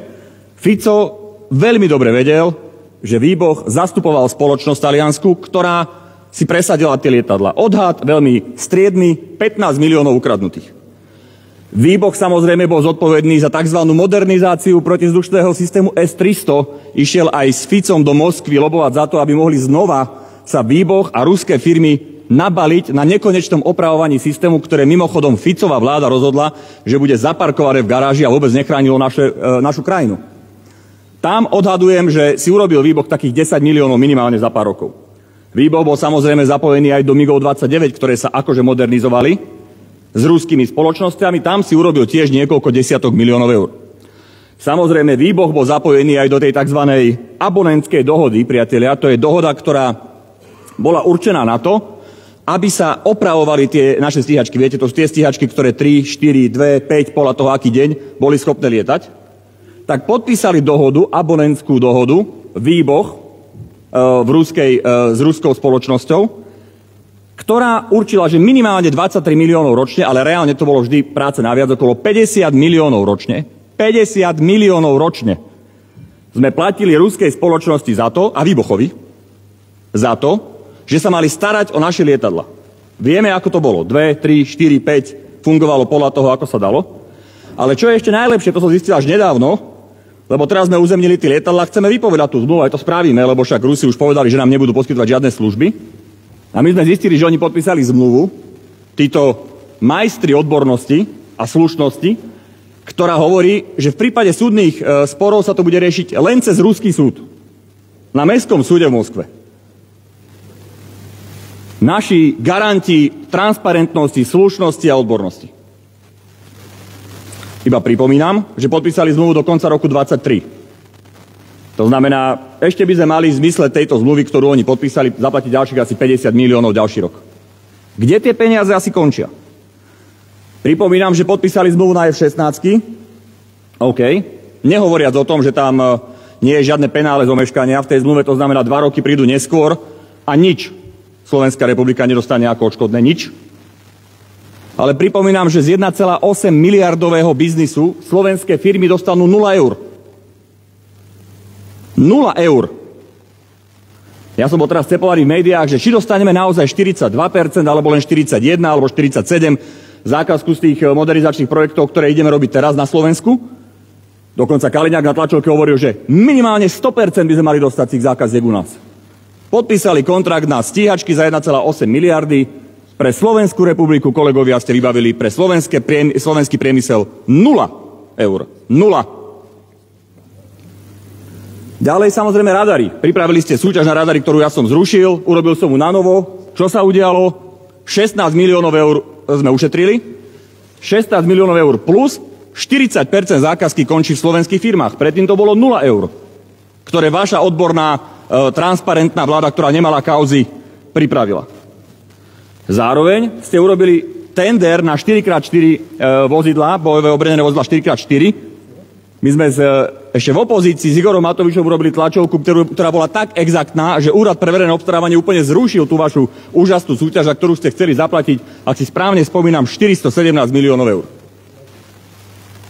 Transparentná súťaž transparentnej vlády. No a potom poďme na také veci, ktoré si ľudia vedia lepšie predstaviť. Mnohí z vás, naľavo alebo napravo, sú z východného Slovenska. No tak si spomeňme, priatelia, ako vola kedy vyzerala vojenská zotavovňa na Zemplínskej Šírave. Čo sa stalo za vlády Smeru a SNSky? Všetky pozemky ste rozpredali. Za zlomkové ceny. Za zlomkové ceny ste rozpredali všetky pozemky, ktoré tam boli svojim spriazneným ľuďom a dnes, keď sme to zistovali, niektorí už majú štvrtého alebo piatého majiteľa. Neostalo tam nič, len 5-metrový pás k vode. Všetko ostatné ste rozpredali. Budovy, parkoviská, pláže, všetko. Dneska budete niečo hovoriť východňarom, však ste ich okradli ešte aj o to, o to čo, tam, čo tam chceli mať. A čo tam dlhé roky mali. Tatry, v Tatranských zruboch, v Napolianke, e, za zlomkové, za 19 eur ste predávali meter štvorcový pôdy v Tatrách. Však si povedzme pravdu, priatelia, ako to bolo? Komu ste dávali tie, tie biznisy? Prečo ste za 19 eur, keby som to bol vedel, za, za 38 kupujem? tak ste rozkrádali ten rezort ako po nebohom. Vy budete tu hovoriť o 200 tisícoch za nejakú SBS-ku e, na nemocnici svätého Michala? 200 tisícoch? Keď ja tu hovorím o stovkách miliónov, ktoré ste rozkrádli ako po nebohom v rezorte obrany? Cesty do Líbie, Kadáfi, Kadáfiho zoznamovať s výbochom. Hamba na 100 rokov. Hamba na 100 rokov. No a potom samozrejme e, chuťovečky, zneužívanie moci. Vy budete hovoriť niečo o zneužívaní moci vy? 1,5 roka ste ma odpočúvali. 1,5 roka ste ma odpočúvali. Takto som dostal 3 CDčka od e, vyšetrovateľov, keď e, mi bolo vznesené obvinenie. Ako som si volal s mamou a s bratom, sa môžete hámbiť, sledovali ste ma. Syn vášho bývalého kolegu E, pána bývalého podpredsedu vlády Čaploviča, riaditeľ Vojenského historického ústavu mi odozdal knihu, odozdal mi knihu, vojenskú historickú knihu, ktorú napísali, keď sme sa stretli, lebo sme kamaráti roky. A ten, ktorý sledoval, napísal do spisu, že Čaplovič odozdáva bližšie nešpecifikované, utajované dokumenty rezortu obrany Naďovi. Ste trápni. Môj brat mi volal, môj brat je vojak. 25 rokov alebo 28 rokov má oslúžený, ani neviem. Dlhoročný vojak. A môj brat mi volal, že čo, chce môjmu, čo má kúpiť môjmu synovi na meniny alebo na narodeniny ako krstný otec. A ja mu hovorím, kúp mu dres hokejový, lebo chalanisko hrá hokej, bude šťastný. Kúp mu pravý hokejový dres NHL asi 150 dolárov stojí alebo eur. A on mi hovorí, že čo kradnem? A ja, že však ti zvýšili plat, lebo Gajdoš hovoril, že vám zvyšujú plat. A on mi na to hovorí, že mám ti ukázať výplatnú pásku, nič mi nezvýšili. A ten, čo nás odpočúval, to prepísal tak, že v tom čase major Nať internými dokumentmi rezortu obrany preukazuje sociálny stav vojakov v rezorte. Brat by povedal, či by mal ukázať výplatnú pásku, že mu nezvýšili plat. Rozumiete, čo ste vy robili? Rozumiete, čo ste vy robili, čo robil Balciar s desiatkami nehnuteľností? Viete, koľko mal aut? Viac ako 40 aut mal. Viac ako 40 aut mal Balciar. Odkiaľ ich mal? Sa na vás pozerám. Odkiaľ ich mal? Povedzte mi, ako na ne zarobil? Naozaj tak, ako tvrdil v médiách, to, pozrite si tú reláciu z teatry, to inak, to je vrchol uh, kvality žurnalistiky na Slovensku bola relácia, kde prišiel Balciar so všetkými tými medailami, ako riaditeľ vojenského spravodajstva začal vysvetľovať, že skade on má vlastne ten majetok. A on povedal, že viete, však aj mamina robila, aj ocino robil, aj ja som robil. Sme si usporili. To je niečo ako keď Pelegrini hovorí, že si naškrapkal. Ako nehnevajte sa na mňa, veď to je vrchol. Motorky, drahé bavoráky, 6x6 Toyota, obrnená v, pre, v špeciálnom prevedení. To všetko mal Balcia, rozumiete? Skade za to zobral? Krádol jak po nebohom. A čo je vrchol všetkého? Mal výplatu, ktorá sa blížila 20 tisícom eur. 20 tisícom eur mesačne, to ani pani prezidentka nemá ani, ani s premiérom dokopy asi. A vy budete niečo hovoriť, preboha, však akože sa, sa uvedomte. Sa uvedomte.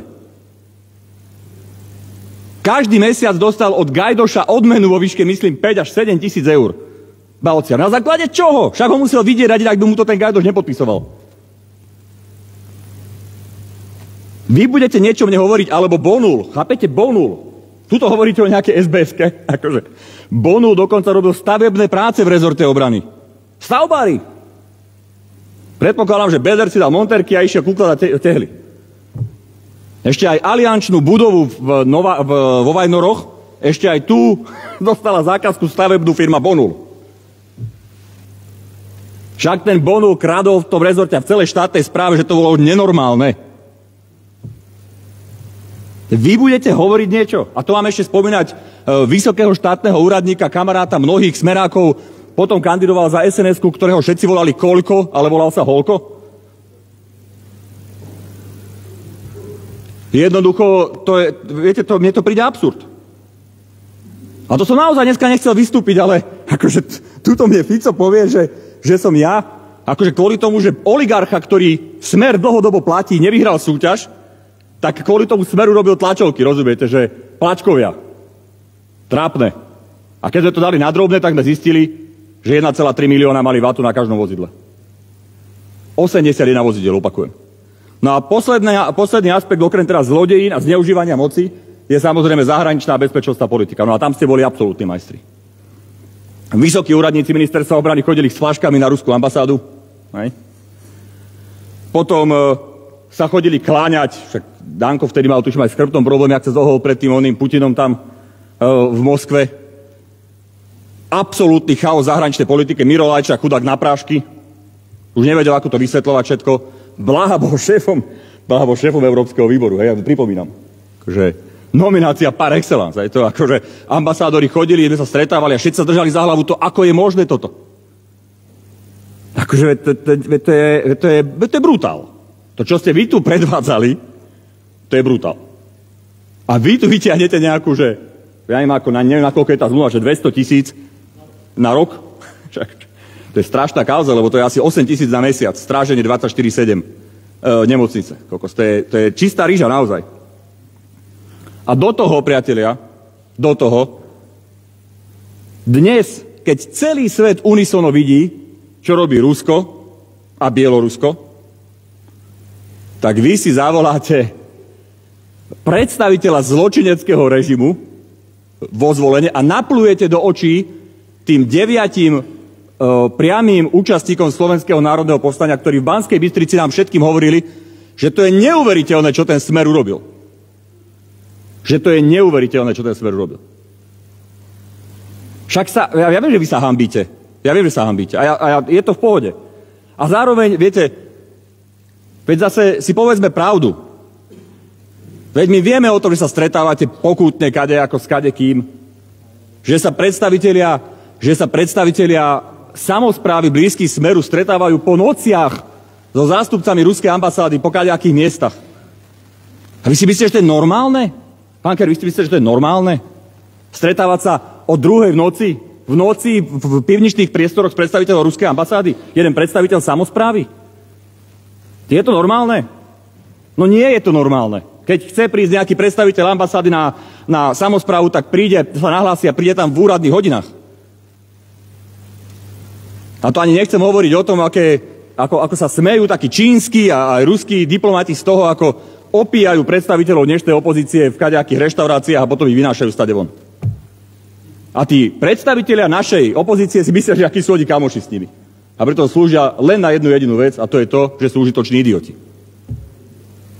A to je terminus technicus, to nie je úražka. Takže nie Roman by mal skončiť, priatelia. Ale tí ľudia, ktorých som tu spomínal a mnohí ďalší, by mali skončiť vo väzení, lebo spravodlivosť by mala v tejto krajine vládnuť. A ja verím, že tá spravodlivosť vládne a aj preto si jednýkrát e, odvolávame Romana, teda Národná rada, lebo tu vládne obrovský strach v radoch opozície, že tá spravodlivosť príde. A ja vás uistujem teda, že ona príde. Majte sa.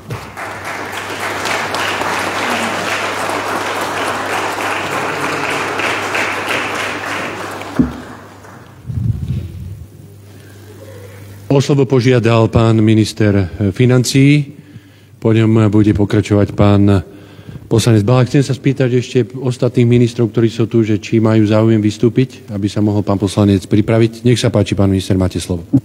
Ktorý myslíte, Blaha, aby sa mohol pripraviť? Uh, využívam túto príležitosť vystúpiť ešte raz, lebo myslím si, že naozaj zažívame také zlomové chvíle a prepač, Roman, že, že sa ti motám do tvojho odvolávania. Ale chcel by sa prihovoriť z tohto miesta ľuďom, ktorým na Slovensku záleží.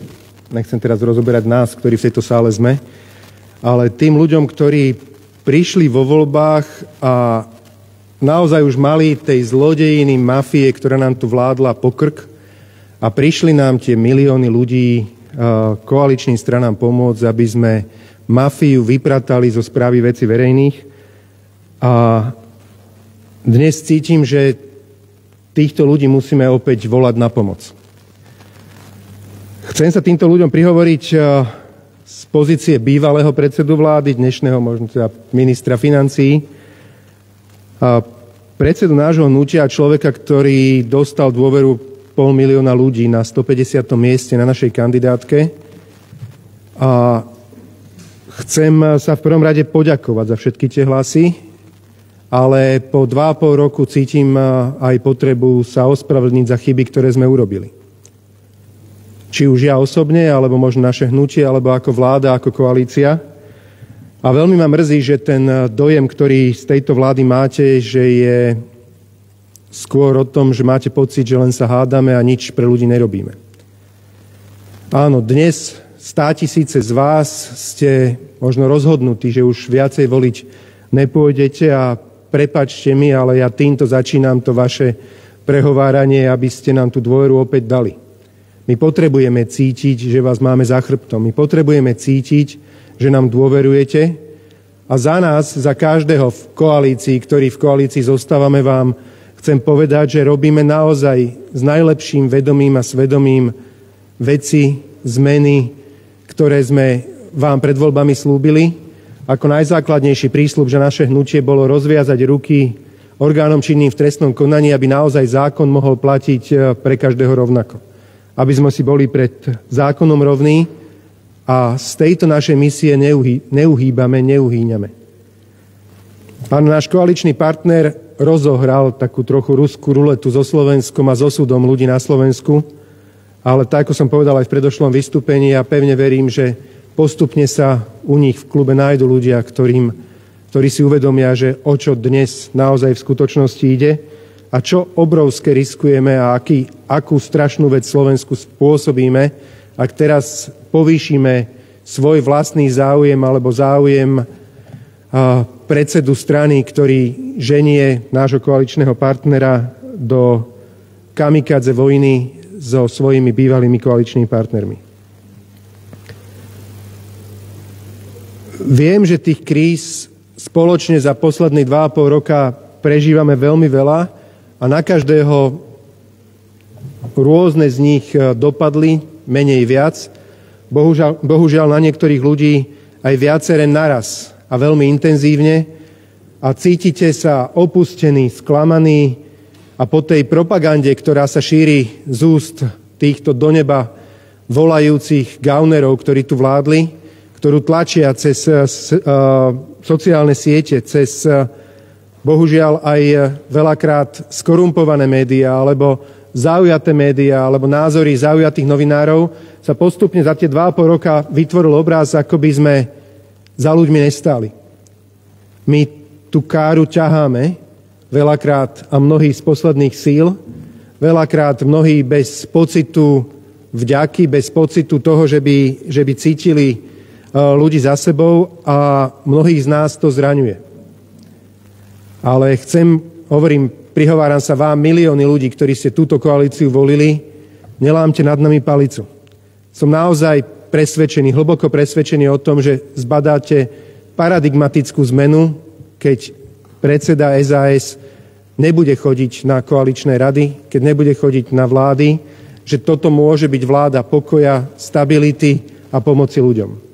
Potrebujeme ale od vás podporu, potrebujeme od vás prácu, aby ste vytvorili verejný tlak na nášho bývalého koaličného partnera, aby nenechal vás, voličov, ktorým slúbil, že bude bojovať proti mafii v Štychu a aby sa správal tak, ako verejne pred eh, pár dňami a týždňami slúbili, že budú konštruktívna opozícia. Ja pevne verím, že sme ako slovenský parlament, že v tejto skúške, že či sme zreli na fungovanie menšinovej vláde, obstoj, menšinovej vlády obstojíme a dokážeme ľuďom ukázať, že napriek tomu, že nás je menej, nájde sa tu dostatok zodpovedných poslancov, ktorí nebudú chcieť Slovensko vydať na pospas mafii a fašistom, ktorí sa na bielom koni môžu vrátiť k moci. Ďakujem veľmi pekne. Tri faktické poznámky na vaše vystúpenie. Ako prvý pán poslanec Mazurek. Ja mám úplne priamú otázku na pána Matoviča a to je, že koho tieto trápne, ubolené keci ešte zaujímajú? Koho ešte zaujíma, keď tu príde, ľutuje sa, narieka, fňuka a zo všetkého obvinuje stále niekoho iného? Čo vy hovoríte o tom, že ste stratili dôveru ľudí, veď vy ste dva roky ľudí terorizovali, pripravili ste ich o ľudské práva, prehajdákali ste neuveriteľné miliardy eur na nezmysly, a vaše psychopatické nápady dostali Slovenskú republiku na kolena a zrujnovali dôveru ľudí v štát ako taký. A dnes tu prídete zase plakať?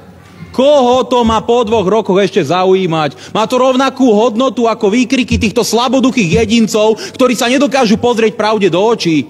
Koho má zaujímať to, že vám je ľúto, že ste takto stroskotali? Áno, vaša vláda je príkladom historického neúspechu. Je príkladom absolútneho amatérizmu a schopnosti jedného blázna, teda vás konkrétne, zrujnovať celý obrovský voličský potenciál, ktorý mu ľudia dali, lebo vám verili, podviedli ste ich, oklamali ste ich a jediné, čo vám ostalo, jediný argument po dvoch rokoch je hovoriť, vtedy kradlo, tamty kradli, henty kradli, veď v poriadku, spravodlivosť má nájsť každého, ale vysvetlenie pre tú vašu neuveriteľnú zbabelosť, aroganciu, pre to zobratie ľudských práv celej tejto populácii nie je to, že v minulosti sa kradli. Vy ste ďaleko horší ako ktorákoľvek vláda, ktorá na Slovensku kedy bola. Takže keď si už do tej huby beriete fašistov, vy psychopat, tak fašista ste vy. Vy ste ľuďom zobrali ľudské práva. Vy ste tu zaviedli totalitu a vy za to budete stať pred spravodlivosťou. Pán poslanec s faktickou poznámkou.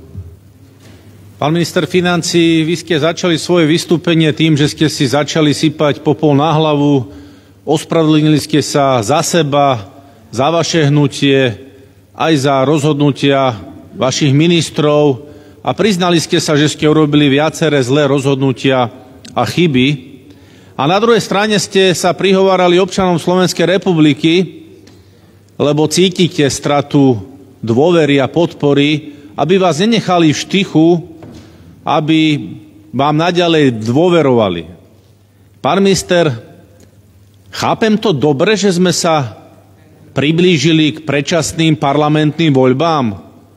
Ak áno, tak tento váš nepriamy odkaz je veľmi dobrou správou pre občanov Slovenskej republiky. Pán poslanec Kočiš, posledný s faktickou poznámkou. Veľmi pekne ďakujem za slovo, pán predsedajúci. Pán Matovič, toto bolo zase také jedno trápne, chabe a úbohé vystúpenie človeka, ktorý nevie nič iné, iba sa ľutovať, sypať si popol na hlavu a stále neustále omieľať jednu okrydlenú vetu. Ľudia, vy nám musíte veriť, národ, ty nám musíš pomôcť. Pán Matovič, vy ste získal 25% ľudí, ktorí v slabej chvíľke rozhodli tak, ako rozhodli. Vyštval ste z vládnej koalície partnera, o ktorom sa teraz vyjadrujete ako o tom najhoršom zle, o ľuďoch, ktorí vám sľubovali vernosť až za hrob a zrazu hľadáte spojencov, hľadáte partnerov naľavo, napravo v plene Národnej rady Slovenskej republiky. Vyhrážate sa ľuďom, vyhrážate sa poslancom, vyhrážate sa každému, komu len môžete. Jednoducho u vás je každý chrapuň, u vás je každý zlodej, u vás je každý múdrosráč, zbabelec a jednoducho nepríčetný blázon. Ale pán Matovič, vy sa správate ako nepríčetný blázon. Vy ste tu opäť predviedol jedno cirkusanské vystúpenie, po ktorom sa vaši mopslíkovia Mikulec s Naďom postavili a do sekundy s vami vycupitali poza tieto drevené dvere. Vy sa správate ako ten najväčší fašista, ako ten egomaniak, psychopat a jednoducho dosepat zahľadený človek. Vy ste obdivovateľ Hitlera a NSDAP. Vy rozprávate o tom, že idete budovať niečo ako Hitler v 30. rokoch a vy idete obviňovať ľudí, ktorí si dovolia mať iný názor, že sú fašisti, že sú extrémisti, že sú ľudia tí, ktorým nezáleží na slovenskom národe. Pán Matovič ste jednoducho hambou nielen slovenskej politiky, ste hambou mesta, z ktorého pochádzate a ľudia, ktorí spravili chybu v roku 2020, nie, že vám budú stať za chrbtom, ako tu na plačete a prosíkate, títo ľudia už takúto chybu nikdy v živote neurobia. Teraz udelujem slovo pánovi poslancovi Lubošovi Bláhovi, ktorý vystúpi ako poverený člen poslaneckého klubu Smer sociálna demokracia. Po ňom bude vystupovať pani poslankyňa Denisa Sakova. Nech sa páči, pán poslanec. Vážené dámy a páni, vážené pani poslankyne, páni poslanci, neviem sa vyjadriť k tomu, čo tu predvedol Ivan, Igor, pardon, Igor Palmička Matovič, lebo nie som psychiatr, ale dovolte mi odporučiť jeho lekárovi, aby ho už viac nepúšťal do parlamentu bez jeho dávky Lexaurinu. Prosím vás o to. Páni odborníci, slovenský parlament je dôstojná sieň a človek typu Matoviča tu naozaj nemá čo hľadať. Môj príhovor bude smerovať e, k jeho dvojke, k jeho čističovi. Pretože každá mafiánska organizácia, a povedzme si to na rovinu, táto vláda čoraz viac pripomína mafiánsku organizáciu, potrebuje svojho Luku Brasiho. Spomente si na knižku e, Krstný otec, kde bola taká mafiánska tlupa, Korleonovci. Aj tí mali svojho Luku Brasiho, ktorý chodil a čistil. To musí byť človek, ktorý je mimoriadne hlúpy, tupý, brutálny, človek, ktorý nemá žiadne škrupule. Roman Mikulec. Zoznámte sa. To je človek, ktorý dneska robí tú špinavú robotu na miesto Igora Matoviča. Budeme tom ešte hovoriť o všetkých tých kauzách Čurilovcov, o všetkom tom zneužívaní právomoci verejného činiteľa, o celej tej Matovičovsko-Lipšitovskej mafii. O tom ešte budem hovoriť. Ale viete, Dojendávna tu panoval mýtus, že Olano to je protikorupčné hnutie. A dneska máme jasné dôkazy na stole, ktoré nemôže nikto spochybniť. Že je to jednoducho banda zlodejov, banda podvodníkov, banda lúpežníkov. Odporúčam premenovať Olano obyčajní lúpežníci. Pretože presne to sú. My, mám pocit, že keď teraz sledujem tú prázdnu sálu, tú podporu, ktorú získava pán Mikulec od Olano, tak som dojatý. Oni mali vo voľbách 25%. Keď tu rečnil Matovič, tak im už ostalo len 25 kusov a teraz už neostal absolútne nikto, kto by sa zastal ich miestneho blázna. Je to veľmi smutné a, a ešte, pardon, jedna bytosť zo zoologickej záhrady sa objavila, pán profesor Pročko a už aj odišla naspäť do zoologickej záhrady. Takže, Roman Mikulec a jeho uh, zločiny. Povedzme to na rovinu, zločiny. A hovorím dopredu, táto vláda nikdy nedopustí, aby NAKA a policia a Lipšic na prokurátore obžalovali Mikulca a ďalších gaunerov z toho, čo spáchali. Ale verte tomu, že spravodlivosť si ich dobehne a najmä na to, čo spáchali na Milanom Lučanskom a o tom ešte budem hovoriť. Ale začal by som s zlodejinami. Olano. Viete, ono to je skoro rodinná firma. Rodinná firma, a tu je jeden slávny Mikulcov, ako hovoria hiphopery, bratm, ktorý si tu zarába ako taká straka na štátnych zákazkách. Štvrť milióna. Štvrť milióna. Len takým fukotom. Za to, že jeho bezpečnostná služba teraz chráni nemocnicu, ktorá je pod kontrolou Mikulca. Na čele tejto nemocnice mimochodom stojí alebo sedí pán Delej, čo je známa postavička, si ho možno spomeniete, ktorý tu vyhadzoval vedúcu sestier, keď nedoniesli Borisovi Kolárovi čajíček do nemocnice. To je ten chrapuň Delej. A tento človek dal zákazku z hodou okolností Mikulcovej firme, respektíve rodinej firme Mikulca, ktorej pôsobil. A on hovorí, že medzi tým už brat nie je vlastníkom. A lenže brat tam nechal konateľa. Nechal konateľa Lukačoviča, ktorý bol takisto konateľom aj v inej Mikulcovej firme, ktorej dohadzoval zákazky ešte v čase, keď bol na čele vojenského spravodajstva.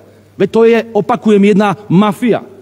Vtedy to bolo 150 tisíc, teraz je to štvrť milióna, sú nenažraté pijavice, ktoré neviete dostať z vlády, pretože si potrebujú dokončiť svoje kšefty a potrebujú ešte zastrašovať opozíciu. Ale ja mám pocit, že im nedochádza, ten intelekt nie je príliš vysoký, im nedochádza, že či už tu bude o mesiac, o dva alebo dlhšie, tak jednoducho jedného dňa od tej moci odídu. A oni si myslia, že ich zločiny nebudú vyšetrené. Oni si myslia, že to, že Čurilovci hovoria, že chcú zabíjať deti, že to len tak necháme, to, čo spáchali na Milanovi Lučanskom, že to len tak prejde, to si oni naozaj myslia? Sú veľmi nervózni. Aj preto tu bol ten hysterický záchvat Igora Matoviča. Sú veľmi nervózni. Igor Matovič asi v prvom rade e, netúži potom, aby skončil e, vo vezení, aj keď v jeho prípade mám pocit, že to bude skôr kazajka a miestnosť vypolstrovaná, kde skončí. Pretože to, čo napáchal, jednoducho musí byť potrestané. Dámy a páni, Robert Fico povedal a opísal tie kauzy veľmi jasne. V prvom rade je to kauza nemocnice, ktorú strážila firma, ktoré pôsobil ako vlastník brat Igora Matoviča. A dostala kšeftisko za štvrť milióna. Potom je to kauza, ktorá je aktualizovaná tým, že UVO rozhodlo, že v prípade tzv. migračnej krízy Ukrajincov, ktorí chodili na Slovensko, bolo potrebné najať súkromnú eventovú agentúru, ktorá sa zaoberá svadbami. Pretože tá mala pomáhať tejto vláde riešiť migračnú krízu, ktorá vlastne nemala byť krízou, pretože Naď nám sa snaží nahovoriť, že on už predsa od oktobra vedel, že bude vojna na Ukrajine ako jediný na svete. Hej? A on teraz 3 mesiace nič nerobil, šúchal nožičkami a čakal na to, až kým vypukne migračná kríza. Samozrejme nič nerobiť, nič nerobiť. A potom zavolal agentúru pre svadby, aby ju vyriešil. Hej? A teraz tá svadobná agentúra, len aby sme vedeli, tu im odporúčil pán Slovák. To je ten jeden z tej ich bandy, Salara Banda, poznáte to, hej? Uh, ten evangelizátor, ako si oni hovoria pekne, ale uh, hovorí sa im aj trošku inak v žargone, ktorý by som použil. To je banda bláznov na čele s Hegerom a ďalšími duchmi svetými, ktorí tu rozkradajú peniaze, schovávajú sa za náboženstvo a potajme predávajú vodku v Amerike, alebo robia takéto kšeftiska. To je Heger. To je Nať. To sú títo blázni. A viete, Pán Slovák odporúči firmu, firmu uh, uh, Dustream, ktorá má riešiť teda okrem svadieb aj migračnú krízu. A táto firma potom dohodí ako subdodávateľovi kšeftisko z hodou okolností pánovi Slovákovi. A to je ten pán, ktorý robil aj osvetľovača a všetky možné technické služby hnutiu Olano. Aké náhodičky. A vy tomu hovoríte, že to sú obyčajní chúďatka ľudia, ktorí bojujú, za, bojujú proti korupcii si robia z ľudí srandu? Však to sú obyčajní zlodej. A dneska som sa dočítal, že vláda o Mikulcovi k týmto kauzám sa vyjadrila, že on si robí svoju prácu profesionálne. Preboha, akú prácu majú na mysli, ktorú robí profesionálne? On je bankový lúpič? Lebo to áno, to robí profesionálne. Lúpi Slovensko. Ale pokiaľ chceme vnímať úlohu ministra vnútra ako niekoho, kto chráni zákon, tak to je jeden gauner, jeden lúpič, jedno zlodejisko. Ale samozrejme, keď sme počúvali zlodejiny Naďové a zlodejiny Mik- Matovičové, tak jeden Mikulec sem, jeden Mikulec tam, všetko je to tlupa zlodejov. Viete len, všetci na Slovensku vedeli, že to sú nevzdelanci a primitívy. Všetci. Však prebohá tá kauza, že, že Matovič nebol schopný si ani len napísať svoju diplomovú prácu a že to je človek, ktorý kradne ešte aj cudze texty.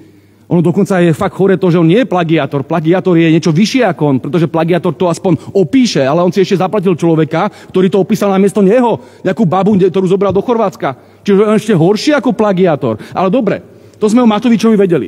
Vedelo sa, že to je nevzdelaný primitív a plagiátor. Fajn. A Olano s ním.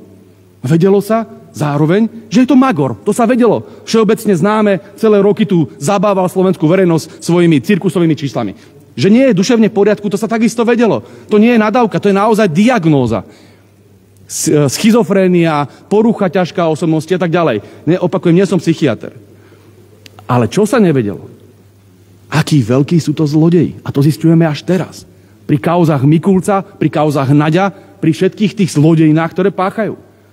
Ako, aby sa niekto obohacoval na úkor slovenskej spoločnosti a dával kšefty Bratmumovi, to naozaj, to myslíme vážne? A takýto človek tu potom vrieská ako orangután a nadáva na všetkých, že to my sme všetci zlodeji, vrahovia, čo sme boli ešte Hitlerovia. Najnovšia psychodza Igora Matoviča, každý Hitler. On už ako naozaj predáža všetko dno. Všetci sme Hitlerovia a on je Žid.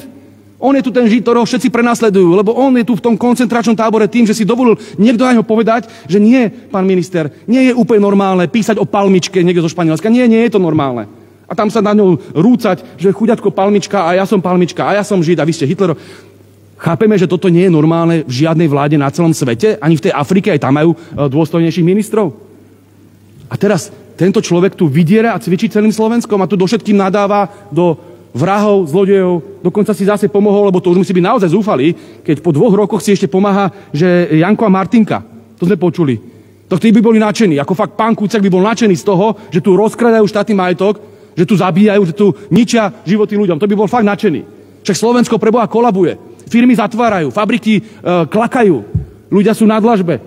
Ľudia nevedia, z čoho budú platiť plyn, energiu, elektrinu. V takéto situácii, kedy sú nechaní na pospás a nemáme tu vládu, ktorá by vládla, je tu nejaká menšinová, e, menšinový blázinec, tak v tejto situácii sa on postaví a seba lutuje? O, palmička? To myslíme vážne? Som presvedčený, že ten pán nemá všetko, všetko v poriadku v hlave, ale to je asi už niečo, čo vie celé Slovensko. Dámy a páni, Roman Mikulec má veľmi, veľmi špinavý životopis. A už to spomínal Robert Fico. Viete, keby to bolo tak, že nejaká náhoda, ako on hovorí, že prihral kšeftisko svojmu bratmumovi. Fajn. Ale čo sa stalo v skutočnosti v jeho živote viackrát? On svoju rodinu kojil ako obyčajné, skorumpované, nebudem hovoriť to slovo, nechcem byť pejoratívny. Ako sa mohlo stať, že keď bol na čele vojenského spravodajstva, tak nechal zákazku pre rodinnú firmu, ktorú ovládal jeho otec, za, to bola aká suma? To bolo, myslím, 2,5 milióna eur. Za 2,5 milióna eur. Len treba to ešte uh, upraviť. On to nebolo celkom tak, že o tom rozhodol priamo pán Mikulec. To bolo v čase, keď bol riaditeľom kancelárie. Viete, kto o tom rozhodol? Pán Wendelin Leitner, Vendelin Leitner to bol v tom čase šéf vojenského spravodajstva a viete, kde je dneska pán Vendelin? Pán Vendelin je dneska štátnym tajomníkom Mikulca. A viete, koho zamestnal pán Mikulec na ministerstve vnútra? Syna pána Vendelína Leitnera. Aká náhoda? Opäť samozrejme kozmická náhoda. Všetko sú to kozmické náhody. To, že dáva kšeftiska Bratnumovi, to je kozmická náhoda. To, že dáva uh, svojim kamarátom, ktorými robili kšefty v minulosti, pre ich rodiny dáva kšefty a uh, povolania, to je takisto kozmická náhoda. Všetko je kozmická náhoda. Dokonca bola kozmická náhoda, že sa dohadoval s mafiánmi kvôli tomu, že im nejaký mafián očúral, alebo jeho pes očúral plot. Pamätáme si to. To sú všetko náhody. Náhoda bola aj jeho vzdelanie, spomente si. Že on si robil úplne na pochybnej škole niekde v Brne, ktorá už medzi tým ani neexistuje. Si tam robil, že vysokoškolský titul a on to robil v čase, keď bol šéfom vojenského spravodajstva. Ako každý z vás, ktorý vyštudoval vysokú školu, asi pochopí, že to neviete robiť, keď ste takéto významnej funkcii, lebo tam máte naozaj robotu uh, od rána do večera. Tak buď si tam uh, s prepačením vyložil nohy a nerobil nič a popri tom si študoval, alebo to je jedno celé, jedno veľký podvod. Jeden veľký podvod. Ten človek nemá ani len vzdelanie. On je vyučený, myslím, letec. Tak nech pre Boha už odletí z tejto vlády. Pretože tu nepatrí, nemá to vzdelanie, nemá to morálku, nemá na to osobnosť, nemá na to nič. Jediné, čo dokáže reprezentovať, je to, čo opakujem, bolo v Krstnom otcovi uh, v tom mafiánskom filme. On je Luka Brasi tejto vlády. Čistič. A tam sa teraz zostávam. Dámy a páni, to, čo sa prevalilo o zločinoch, doslova o zločinoch, tzv. čurilovcov alebo elitných vyšetrovateľov NAKY. To naozaj chceme nechať len tak a prejsť mlčaním? Ešte raz, podľa odposluchov To nie je niečo, čo si nejaký kajúcnik vymyslel niekde. Podľa odposluchov. Čurilovci hovorili o zabíjaní detí. A tu sa postaví minister vnútra a ich chváli. Dokonca ich povýšil. Ľudí, ktorí hovorili o zabíjaní detí. Viete, ja mám malé deti. Ja viem, čo to je, keď sa hovorí o deťoch takýmito termínmi. To ako necháme tak. A teraz vyzývam aj kolegov z SAS, lebo budú kryť zabíjanie detí? Budú kryť výzvy na zabíjanie detí? Budeme kryť ako spoločnosť a tolerovať takéto svinstva? Kam až chce Matovič a jeho banda, jeho tlúpa neandertálcov posunúť Slovensko? Kam až? Zabíjanie detí to naozaj? Pán Jan Kalavský, o ktorom tu teraz e, Mikulec hovoril, že to nebol čestný a spravodlivý policajt, lebo najčestnejší a najspravodlivejší sú jeho kajúcnici, pochopiteľne. Čo to sú mafiáni, to sú podvodníci, to sú naozaj priznaní zlodeji. Tak tí sú v poriadku a ty, keď obvinia kohokoľvek z nás, tak to je všetko pravda svetúca, ale keď povie Kalavský, ktorý bol súčasťou operatívy, súčasťou Čurilovcov a priznáva dneska, aké zločiny páchali, tak to už nie je čestný a spravodlivý policajt. Úžasné. Viete, po nich zostávajú mŕtvi. A toto hovoril pán Kalavský. A tu už naozaj musíme spozornieť. Keď hovorili o tom, že tríznili Milana Lučanského.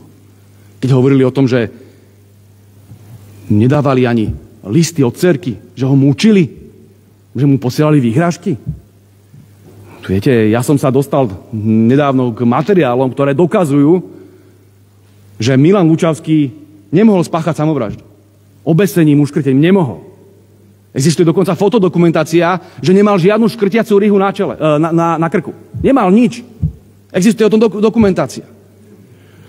Podľa pôvodnej obhliadky jeho tela znalci sa vyjadrili, že neexistujú žiadne stopy, žiadne modriny, žiadna škrtiaca riha na jeho krku. Odrazu, tri dní na to, už iba jeden znalec, čo je v rozpore so zákonom, zrazu rihu našiel. A vám to nepríde podozrivé? Nepríde vám podozrivé, že sa v znaleckom posudku píše, že mal na temene hlavy jazvu, kde mu zašil 5 cm jazvu, ktorá bola čerstvá, dvojtýžňová. Ale v tom prípade by takéto zranenie musel dostať v, ešte vo, vojenskom, vo vojenskej nemocnici, v Ružomberku, kde ležal. V tej nemocnici, ktorú vtedy ovládal Langvarsky. A majú pod palcom minister Naď, ktorý tu kvákal. V tom čase sa mu stalo takéto zranenie, ale odrazu už nový znalec potreboval napísať, že to mohlo byť aj staršia jazva. A keď sa pozrite do jeho anamnézy, zistíte, že on žiadne zranenie tohto typu v živote nemal. Takže buď nenahlásil nemocnici ani lekárovi a sám si zašiel ako John Rambo, alebo to je jednoducho lož. A naozaj sa mu v Ružomberku páchalo na ňu bezprávie a ďalšie trízenie. Nehovorí o tom, že tu niekto chce, aby sme uverili, že on si len tak lukuje na celé a vy vypadne mu oko. Toto tu máme na Slovensku. Takúto hlúposť rozprávajú ľuďom. Človek, ktorý si poslal do knižnice po tri knihy, aby mal čo čítať, ktorý posiela listy svojej manželke a svojej rodine, že chce bojovať, tak ten sa odrazu vraj za samovraždí, áno. A potkne sa o a z okolností má 50 zranení, rozmiaždené oko, ako keby dostal poriadnu bitku obúškami alebo pestiami. Toto chce niekto, aby veril, hej? A zodpovední za celé tieto veci sú Matovičovci. Kaulíková, ktorá má na starosti ako funkčne ktorá sa dokázala ešte o, rodine Lučanských vyjadrovať absolútne súrovo po tom, čo zomrel. Čo len svedčí o tom, že naozaj jej mentalita je niekde v Mauthausene a že nemá absolútne žiadne city. Ale Mikulec má na starosti políciu, NAKU, bezpečnostné orgány, ktoré tu páchajú takéto zverstva. Ako je možné, že dneska Jan Kalavský hovorí, že BM to bol ako kľúčový svedok v prípade Lučanského. Čo si zjavne všetko vymyslel, lebo nič nesedí. Klamal, klamal a klamal. A ten človek sa pár dní na to, ako Milan Lučanský zomrie, popraví, sám seba zabije. Ďalšia samovražda, ďalšia kozmická náhoda. Z hodou okolností zbraňou, ktorú mu tam nemali policajti nechať. Chybička sa vloudila. Tomu máme veriť, že to je náhoda. A ďalší jeden po druhom. Tam ste mali toho mafiána Mikulca, ktorý sa náhle obesil. Jeho manželka vraj podľa pána Kalavského mala podozrenie, že by za tým mohla byť práve táto partia týchto zločincov nejaké. A z hodou okolností tam niekto vrazil autom do jej obydlia a postrieľal ju. A to sú náhody všetko, hej? Jeden po druhom tu umierajú ľudia. A tu sa potom dopočujeme od Mikulca, že to sú tí správni chlapí, tí férovi, tí čestní, ktorí by chceli zabíjať deti. Pamätáme si slova prezidentky Čaputovej, ktorá hovorila o Čurilovcoch, akí sú úžasní. Dokonca aj jej vlastný poradca, vtedajší, je ich obhajcom.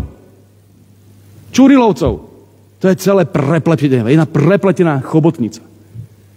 A ja som presvedčený, že aj to, že dneska ešte Matovičovsko-Lipšicovská mafia môže byť pri moci, že dôvod je ten, že ich pri tej moci stále drží Čaputová. Prezidentka Čaputová. To si povedzme na rovinu.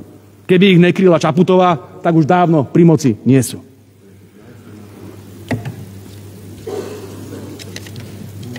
Dámy a páni,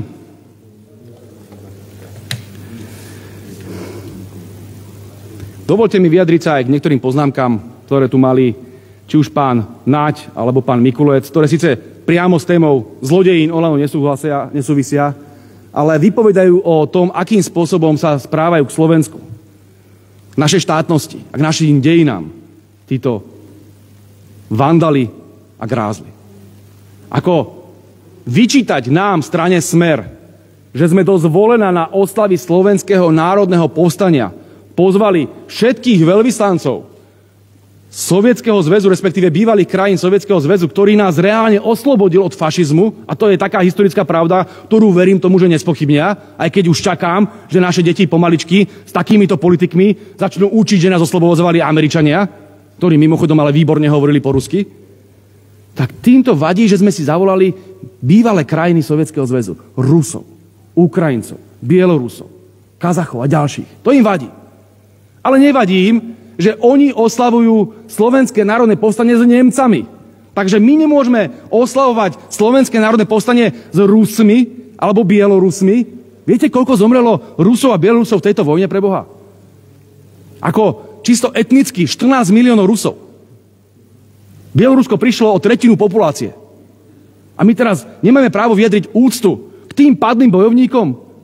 Tam tá udalosť nebola ani nejakým spôsobom spojená s tým, čo sa dneska deje na Ukrajine. To bolo o slovenskom národnom poslaní od druhej svetovej vojne. A oni nám takýmto spôsobom sa snažia nasadiť psiu hlavu, že my teraz podporujeme vojnu na Ukrajine, pretože si uctievame ruský národ, ktorý si veľmi veľa vytrpel. Najviac vytrpel spomedzi všetkých národov v druhej svetovej vojne. Čo sú to, ak nie chrapúni? Obyčajní chrapúni. Povstalci sa musia v hrobe obracať, keď vidia, čo dneska sedí vo vláde Slovenskej republiky. Ja rozumiem tomu, že nemajú vzdelanie, rozumiem tomu.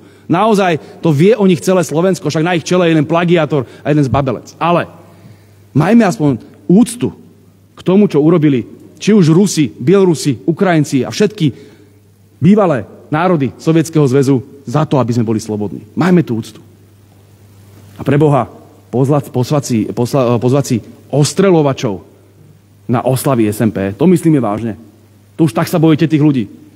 Ja rozumiem tomu, že ste napáchali veľa škôd. Či už to bolo terorizovanie spoločnosti počas pandémie, či už to boli zlodejiny, či už e, očkovacie lotérie a všetky tie veci, ktoré ste páchali, keď tu Matovič hovoril o tom, že oni sú čistá strana. Ja som si tak spomenul, aké kšeftiská robil ešte len s tými e, špajchlami počas covidu, že už dokonca aj v situácii, kedy ľudia umierali a on si to robil kšeftiská so špajchlami že tu robil nejaké, nejaké experimenty s masovým testovaním. Však tu preboha kvôli Matovičovi zomrelo 20 tisíc ľudí. A tento človek tu ešte dneska ide dávať, že, že deň, obetí, e, deň obetí pandémie, to má byť deň obetí Igora Matoviča pre Boha. Deň obetí Matovičovej vlády. Vy ste tu reálne, vy ste zodpovední za smrť tisícov ľudí. Ste zodpovední za smrť Milana Lučanského. Ste zodpovední za smrť mnohých nevinných. A dneska ich chcete nechať umrznúť len preto, že vám to kážu z americkej ambasády a kážu Náďovi, aby posielal zbranie na Ukrajinu. A toto je aj ten jediný dôvod, pre ktorý prezidentka Čaputová stále ďalej kryje túto vládu. To je úplne zjavné. Prečo dneska noví ministri tejto vlády, a to mi vysvetlíte, patria do čisto liberálneho tzv. euroatlantického tábora. Káčer, Hirman sa volá ten minister hospodárstva. Viete, kto to sú pre Boha? Viete, kto to sú? Káčer tu vyvesoval a trepotal s duhovou vlajkou. To je vám OK? Pani z Olano, však vy sa hráte na konzervatívnu stranu. Vy ste najväčší konzervatívci najnovšie. A tu nám dáte ako minister zahraničných vecí chlapíka, ktorý tu trepotal s duhovou vlajkou v Budapešti, ktorý tu nadával Viktorovi Orbánovi ako jaký pes, lebo takto sa diplomat nevyjadruje. A teraz zoberte si pána Hirmana. To ešte Káčer je v porovnaní s ním úplný uh, kozmopolita. Ten Hirman je tak nacusnutý na americké fondy. A tak, tak šlape za Ameriku, že ten ešte chcel dávať sankcie na Rusko, pomaly ešte ani vojna nebola. A toto máte dvoch ľudí, ktorí sú odchovaní na amerických liberálnych tintekoch. Sorošovci ako delo. Je to v poriadku, pani z Olano? Vy sa hráte naozaj na konzervatívnu stranu? Však vás už nebudú voliť naozaj ani rodinní príslušníci. Možno Paulinka. To je všetko. Takže, prepačte, prečo sú tam takíto ministri? To je kľúčová otázka. No lebo to chcela americká ambasáda. Lebo tam potrebujú takýchto tajtrlíkov, ktorí budú posielať zbranie na Ukrajinu a keď Američania takto spravia, že vypnite sa od ruského plynu, tak sa vypneme a umrzneme. Lebo im je jedno, čo bude so Slovákmi. Im je jedno, čo bude so slovenskými firmami. Im je jedno, čo bude s našimi seniormi, s našimi mamami a otcami. Im je to úplne jedno. Američania lusknú a tak to má byť. Takých tam potrebujú. Káčera a Hirmana. To má jasné geopolitické pozadie. A myslíte, že by, že by Čaputová teda ja, mne súd zakázal povedať o nej, že je americká agentka, takže to ani teraz nepoviem. Ale myslíte, že by práve pani Čaputová vymenovala niekoho iného ako ministra vlády, keby to nebol americký agent? No, logicky tam chce mať Káčera. Logicky tam chce mať Hirmana. Tá pani sa správa k demokracii, ako keď sa rúcajú baraky. Ako demoličná gula. A robí hambu celému Slovensku. Dámy a páni, Dovolte mi zhrnúť. Tie najväčšie zlodejiny a najväčšie zločiny, ktoré spáchal Lo Olano, končia na krku Romana Mikulca. Roman Mikulec je čistič Igora Matoviča. Stoja za ním, alebo kryje Čurilovcov, všetkých tých tzv. udavačov, ktorých si spomedzi mafiánov našli, aby obviňovali opozíciu. Dokonca si vymysleli, ja to musím doplniť, oni si vymysleli ešte aj obvinenie na Roberta Fica, lídra opozície, za to, že povedal pravdu o daňových podvodoch Kisku a Matoviča. To už takto hlboko klesli. Že si zobrali nejakých zlodejov a mafiánov, aby natarali čokoľvek.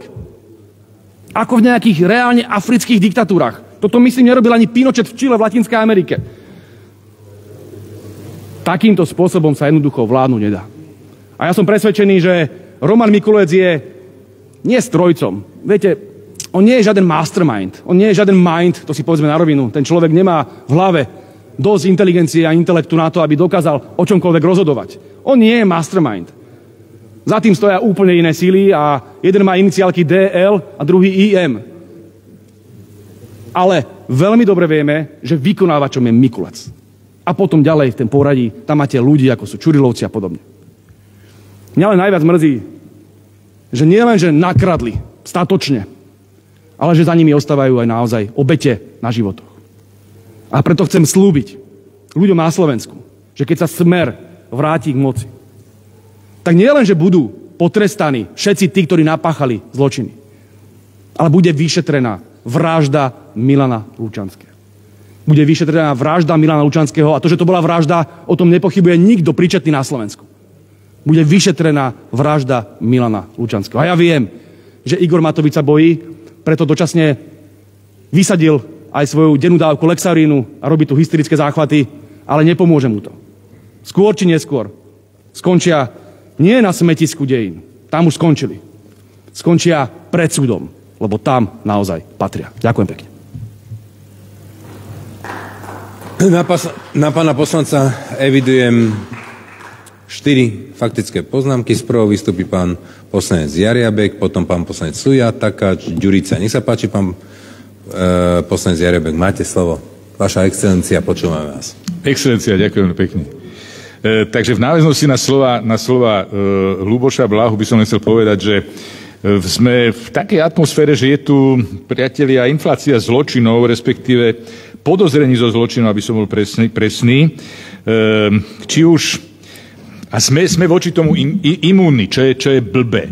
Máme blbú vládu, tak aspoň my nebuďme blbí a normálny spôsob hodnoťme tú situáciu, ktorá je, ktorá je tuná a ktorú vlastne teraz riešime. Viete, no Mikulec. Mikulec sem, Mikulec tam, ja v podstate kašlem na to, či má takého alebo onakého brata, takú alebo onakú rodinu, či proste urobil tie veci skutočne, z ktorých, sú, z ktorých tu naj obviňovaní, na to sú orgány e, činné v trestnom konaní, ktoré to dokážu a po, týchto, po tomto volebnom období určite na to príde čas, ale mňa iná vec, pre mňa je iná vec podstatná. Pre mňa je dôležité, E, aj v náväznosti na to, čo sa mi stalo dneska do obeda. Dneska ma chytili policajti a proste som fúkoval a normálne ako som teda prebehol nejakou kontrolou. A sme sa o tom aj teda bavili s týmito kolegami z policie.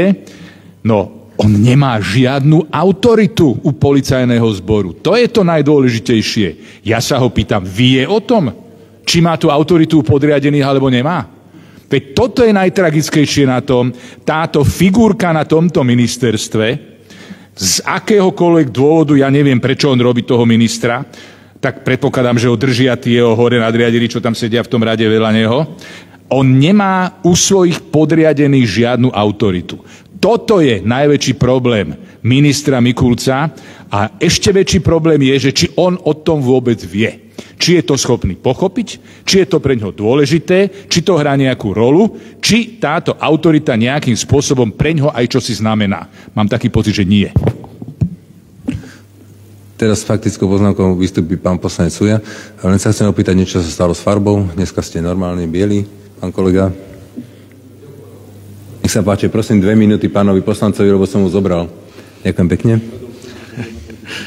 Áno, ja som zbledol z toho, čo sa tu deje hey, v tomto hej, parlamente. hej, hej, pán predseda a v tejto vláde.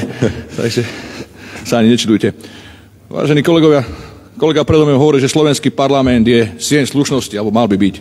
Ale za súčasnej vlády, alebo vlády Pročkovcov a Saskarov, to už dávno nie je pravda, čo hovoria aj zamestnanci Národnej rady. V histórii tohto parlamentu tu nikdy nebolo takéto dehonestovanie. Je to tu horšie fakt, kolegovia, ako v cirkuse. Táto vláda je organizovaná skupina zlodejov, ktorí zneužívajú ministerstvo vnútra na to, aby likvidovali systematicky opozíciu a každého aj z nich, kto poukáže na to, aby sa im to prestane páčiť, dokážu zlikvidovať vymyslenými, vymyslenými obvineniami. Viete, z ústavy ste si urobili trhací kalendár a nezastavíte sa absolútne pred ničím. A pán kolega hovoril, že nemajú vzdelanie a sú to plagiatori. S tým sa nedá nič len súhlasiť. Hlavne keď minister školstva je usvedčený plagiátor. Minister školstva, ktorý by mali s príkladom. A on povie, že no a čo, keď odstúpi Matovič, odstúpi aj on. To sú tí odborníci zo Sasky. A takto sa to tu vedie, toto vaše volebné obdobie. Vážení kolegovia a kolegyne, není vám aj trošku trapné, že držíte túto menšinovú vládu silou mocou len za to, aby ste tých 5000 mesačne ešte tých 15 mesiacov dostávali, alebo 16. Skúsme sa trošku na to pozniesť a pozrime sa na obyčajných ľudí, ako trpia kvôli vám. Však toto je totálny rozhľad štátu, čo ste tu predviedli. A to už nehovorím o tom neskončnom grémiu, že vlastne ani my sme nevedeli, že ako bude vlastne pokračovať. Ja ďakujem predsedovi parlamentu aj vedeniu, že proste tí sa k tomu aspoň tak pragmaticky postavili, ale aj oni nevedia, či budú prechádzať zákony, nebudú, či to bude trvať do konca roka alebo 3 dní. Však my sami ako máme robiť v takéto situácii? Ďakujem. S ďalšou faktickou poznámkou vystúpi pán poslanec Takáč. Nech sa páči, máte slovo. Ďakujem veľmi pekne za slovo, pán predseda. E, Luboš, e, myslím si, že dobré vystúpenie e, prierezové, vymenoval si základné fakty, ale ja si myslím, že keby si sa venoval úplne detailom, tak tu sedíme niekoľko dní pri ministrovi Mikulcovi. A celkom dobre si zhodnotil aj psychiatrický stav pána Matoviča, lebo tiež si myslím, že asi si nedal dnes, dnes svoju dávku, ale ten príklad toho, ako pristupujú hlavne koaliční poslanci, je ten ich aktívny spôsob, ak sa zapájajú do tejto diskusie. Už toto bolo viackrát povedané, že viacerí nám tu kuluárne povedali, že by najradšej zahlasovali za odvolanie ministra vnútra, lebo už to nevedia vysvetľovať aspoň tým pár ľuďom, ktorých sa s nimi na uliciach stretnú. To, čo dokazuje minister, minister Mikulec. Dámy a páni, fakt e, minister Mikulec a ďalší ministri v tejto vláde nastavili tú látku tak, že jednoznačne do budúcnosti nie je pochyb nad tým, že hoci kto by niečo v budúcnosti spravil, tak povedal, a však to predchádzajúca vláda, že to bol štandard, to bolo úplne v poriadku. Ja neviem, čo treba ešte tým koaličným poslancom za to, aby zahlasovali, nie aby sa zdržali, ale aby zahlasovali za odvolanie ministra vnútra. Čo musí ten minister spraviť ešte, aby vás presvedčilo o tom, že je tam totálna korupcia, zneužívanie právomoci verejného činiteľa a množstvo ďalších vecí či s bratom, či predtým v minulosti. Však to je v génoch tohto ministra, ktorý dlhodobo, odkedy nastúpil do verejných funkcií, funguje týmto princípom a týmto spôsobom. Dámy a páni, myslím si, že tým, že budete držať pána Mikulca, nič tomu nepomôžete. A v konečnom dôsledku, tak ako to viacerí povedali, proste blíži sa koniec tejto vlády a blížia sa predčasné voľby. Ďakujem. Ďalšou faktickou poznámkou vystupí pán poslanec Ďurica. Nech sa páči, máte slovo. Ďakujem za slovo, pán predseda. Mňa zaujalo na všetkom tom, čo odznelo do tejto chvíle, e, to, že jediným, jediným argumentom či už ministra Matoviča alebo ministra Mikulca bolo obzeranie sa po predchádzajúcich vládach. To ale nemôže byť argument a to nemôže slúžiť ako vysvetlenie na odvolávanie Mikulca, pretože my sa bavíme o súčasnom ministrovi, my sa nebavíme o vládach, ktoré tu boli, ako, ako pôsobili, aké mali kauzy a podobne. Tu jednoducho minister, ktorý je odvolávaný, musí jasne zaujať stanovisko e, k tomu, čo mu je dávané za vinu alebo čo je dávané ako dôvod jeho odvolávania. A druhá vec, my sa pozrime na to aj e, celkom pragmaticky.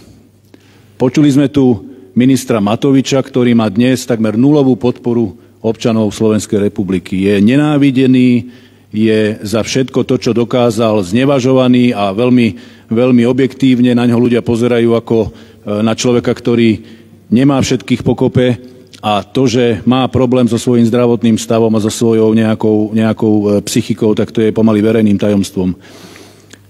Keď sa stretnete s policajtami, tak e, nepočujete jedno dobré slovo na pôsobenie súčasného ministra Mikulca v rezorte vnútra. To je proste holý fakt, tu bol nejaký nešťastný pokus e, Matovičovej vlády a to, že sa tu dnes postavili ako súčasní ministri a obhajovali sa, to je len zotrvačnosť, to je len to, že sú, žiaľ Bohu, stále vo svojich funkciách, ale zďaleka nemajú podporu občanov, tak ako si to nahovárajú e, z doby, kedy sa dostali, dostali do vlády. Zďaleka nemajú podporu občanov na to, čo robili a e, čo robia. Takže tá ich obhajoba je naozaj chabá a mrzí ma, že som sa od nich nedozvedel nič, čo by som mohol považovať za argument. Vracali sa neustále v čase do histórie minulých vlád. Ďalšia faktickou, alebo na faktické poznámky bude reagovať pán poslanec Blaha. Nech sa páči, máte slovo.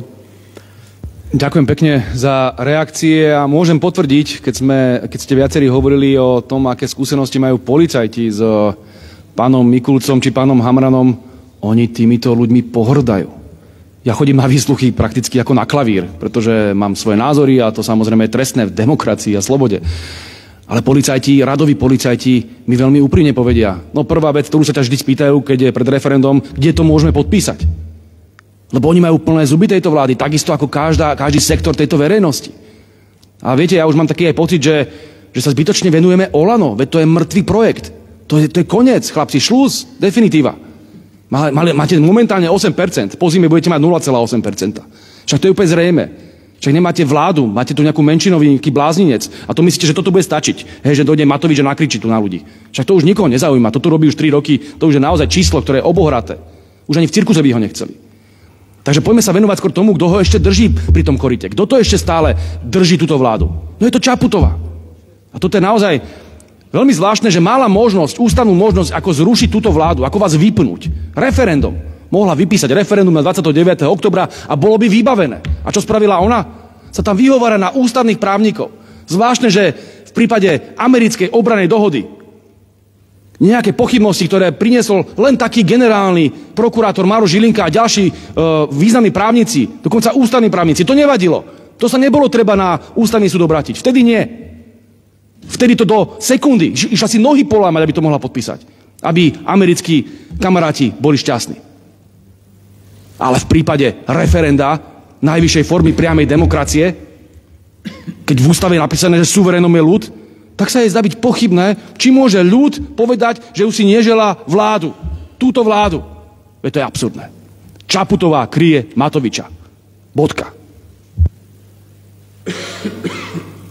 Ďalšou e, do rozpravy e, je prihlásená teraz pani poslankyňa Saková. Nech sa páči. Máte slovo.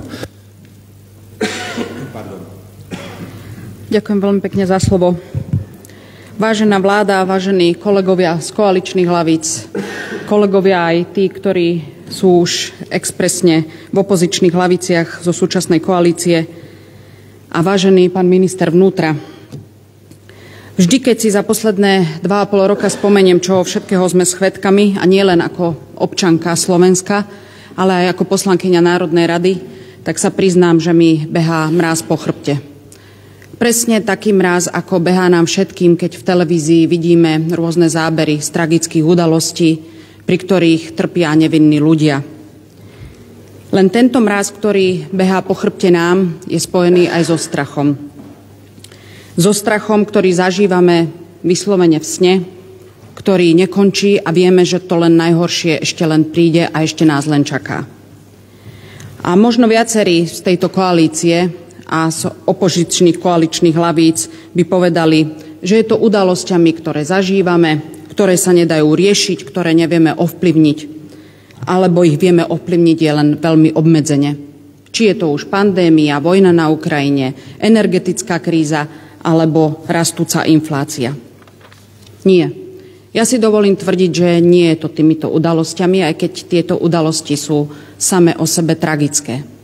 Tieto udalosti prežíva každý občan Európy a možno aj každý občan celého sveta.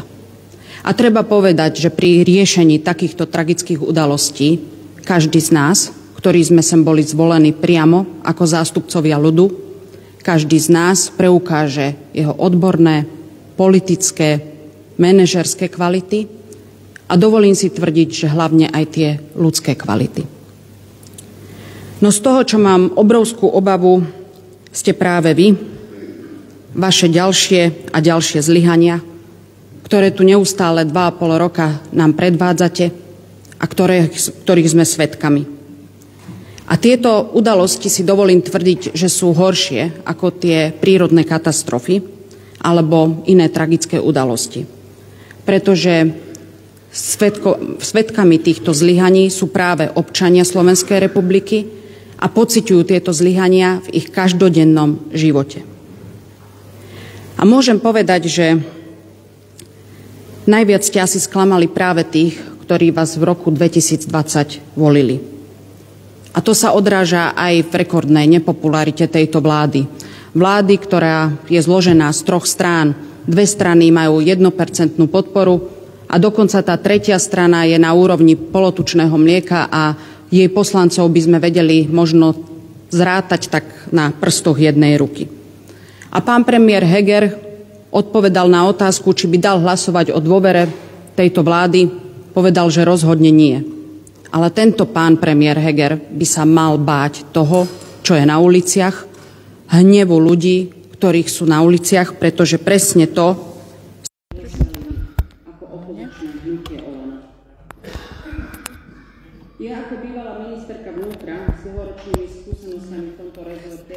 dlhodobo upozorňujem na všetky zlyhania sa to šmíka, oni to natierali nejakým olejom.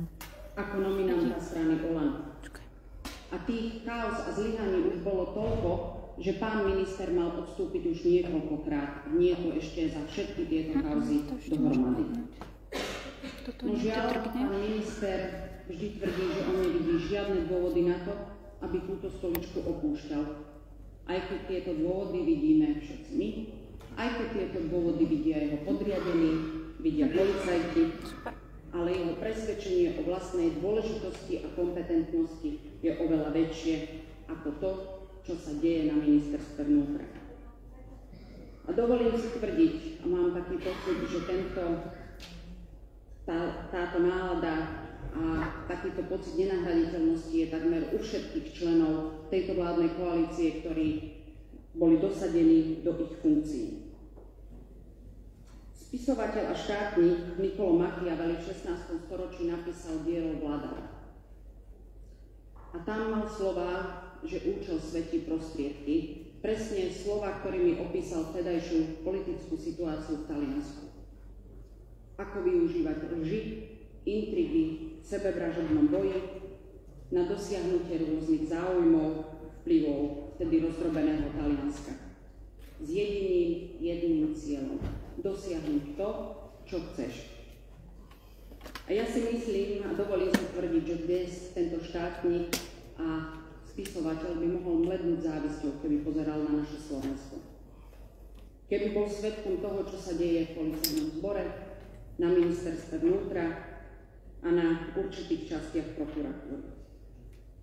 Keď legitimitu tohto všetkého od chaos s ľuďmi a od úmrtí podozrivých aktérov jednotlivých kauz, ktoré nám vyšetruje NAKA, ktorých myslím už bolo 8, až po podozrivé, po podozrivé obete, ako obeťou bol aj bývalý prezident generál Lučanský. Po, po, po vojnu v polícii, po podozrivých výpovediach kajúcnikov, ktoré jednotlivé výpovede dávali na mieru. A namiesto toho, že napáchali toľko trestných činov, že by dnes mali sedieť desiatky rokov vo vezení, tak lietajú do Dubaja vlastným lietadlom a dostávajú štátne zákazky.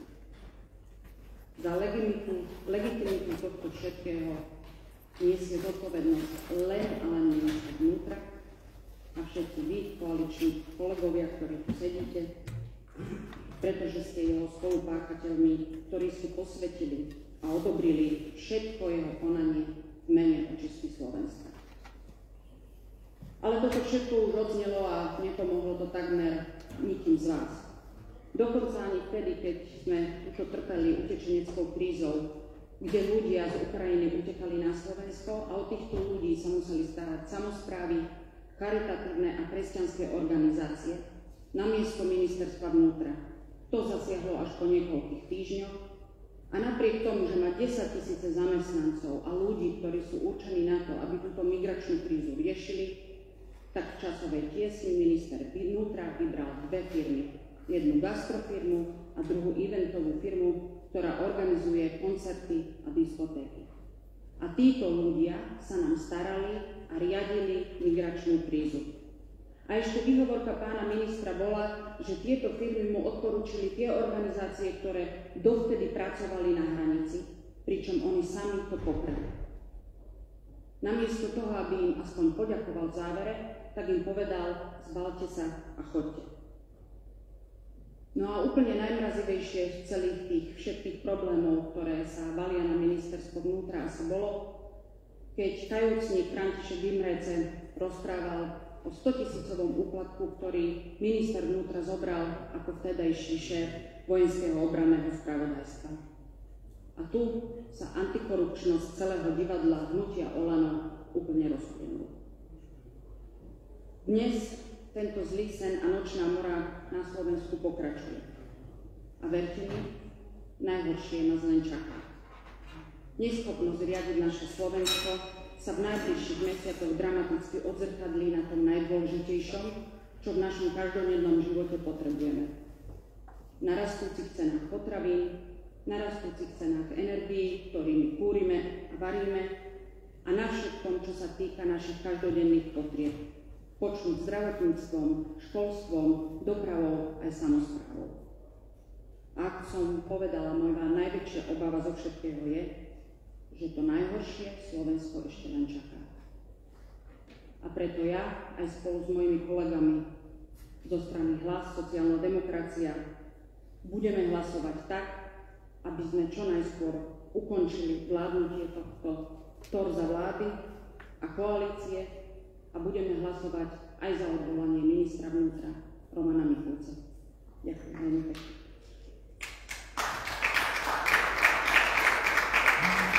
Na pani poslankyňu eh, evident 7 faktických poznámok, pán poslanec Jarebek, potom pán poslanec Šuta Eštok, pán poslanec Potanický, pani poslanec Majorová, Garcková, pán poslanec Ferenčák, pán poslanec Kremský a pán poslanec Pročko.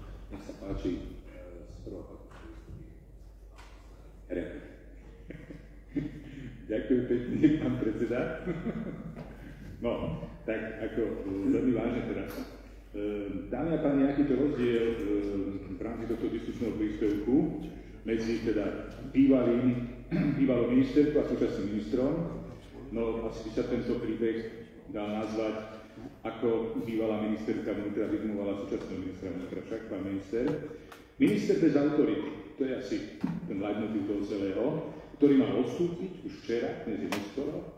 No, mm, nie je to jeho presvedčanie úplne márne, no a jednoducho toto, tak, tak toto asi ďalej nepôjde. A, a keďže každý, každý ten, ten príspevok má nejakú svoju pointu, no tak táto pointa tohto celého je pre vás, pán minister, že čím skôr odstúpite, tým pre vás lepšie. Aj vzhľadom na to, čo budete musieť zdôvodňovať po voľbách. Lebo po voľbách príde rátanie, tak ako vždy po voľbách prichádza rátanie, a vy sa tej zodpovednosti jednoducho nezbavíte. Tak sa ich nezbavili ani vaši predchodcovia. To rátanie je tu, občania prídu, zvolia, odvolia, vystavia účet a vy budete musieť zdôvodňovať všetko to, o čom sa dnes hovorí. Žiaden minister netrvá do nekonečna. Moja otázka znie, môžete vy vôbec odstúpiť? Nie ste vy náhodou vydieraní? Čo na vás vytiahne minister financí, kedy ste náhodou v tejto chvíli odstúpili? Či vás držia týmto pán, týmto pánom? Pán minister, čím skôr, tým lepšie pre vás. Lebo to rátanie príde, a vy o tom takisto viete, že príde, len už to asi nebude také nezaujímavé, ako je to nezaujímavé v tejto chvíli, keď viete, že vás nikto neodvolá. Ďakujem, Vaša excelencia, teraz vystúpi pán poslanec eh, Eštrok, nech sa páči. Pani poslankyňa, myslím si, že k tvojmu vystúpeniu je ťažké niečo dodať. Mrzí ma len, že ho počúvala prázdna sála, pretože tu nie sú ani tí verní uctievači kultu Igora Matoviča, ale nie je tu ani veľký frajer Mikulec, ktorého dnes odvolávame, počúvať. Nie je tu ani psychicky narušený človek, ktorý sa dnes ako jediný zastával a je tu iba pár intelektuálnych titanov, ako je Jožo Pročko, ktorí asi budú obhajovať túto geniálnu vládu. Takže škoda, že ich je tu takto málo, ale chápem. Už sa vyvracali, už mohli ísť preč. Ďalší pán poslanec to vystupí pán poslanec Podmanický. Ja by som vám chcel upozorniť, že pán minister tu nie je, nie z toho dôvodu, že by tu nechcel sedieť, ale na uh, povinnosti, ktoré ale parlament je nadriadený. Len konštatujem, ja ho nespravňujem, len vám hovorím, prečo tu nesedí. Uh, teraz vystupí pán poslanec Podmanický, nech sa páči. Ďakujem za slovo. Ja si myslím, že ministra môžeme odvolať aj bez jeho prítomnosti. Dôležité je, či počúvajú poslanci, či poslanci, predovšetkým vládnej koalície, sú ochotní naozaj zvážiť všetky tie informácie, ktoré zaznievajú z rôznych strán, ktoré spomenula aj pani bývalá ministerka Saková. Môžeme sa baviť, viete, o ekonomických kauzách, za takéto ekonomické kauzy by v minulosti bol okamžite minister odvolaný, popravený médiami, vôbec by sa o tom nediskutovalo. Čo je však oveľa závažnejšie, je zlyhávanie, totálne zlyhávanie a kolaps princípov právneho štátu. Tie informácie, ktoré zaznievajú z vyšetrovania tých uh, ostro sledovaných kaos, sú naozaj strašné. Ja si myslím, že ehm, áno, dá sa na to pozrieť tak, kedy, keď sú niektorí poslanci vládnej koalície, ktoré, ktorí chcú za každú cenu podporovať vládu, že zatvoria oči, zapchajú si uši, náhlas sa škeria, vidíme to aj teraz medzi nami, stačí sa pozrieť do sály, a tvária sa, že všetko je v poriadku. Ale ja si stále myslím, že vo vládnej koalícii sú aj poslanci, ktorí si nechcú zatvárať uši, zatvárať oči a ktorým prekáža spôsob, akým sa akože v úvodzovkách vymáha právo na Slovensku. Lebo právo by sa malo vymáhať právnymi prostriedkami. Nemalo by sa pošliapávať až po zem v mene toho, čo citovala aj pani poslankyňa Saková, že o tie prostriedky. To sú naozaj strašné veci. Ja si myslím, že vládni poslanci máte v rukách, aby ste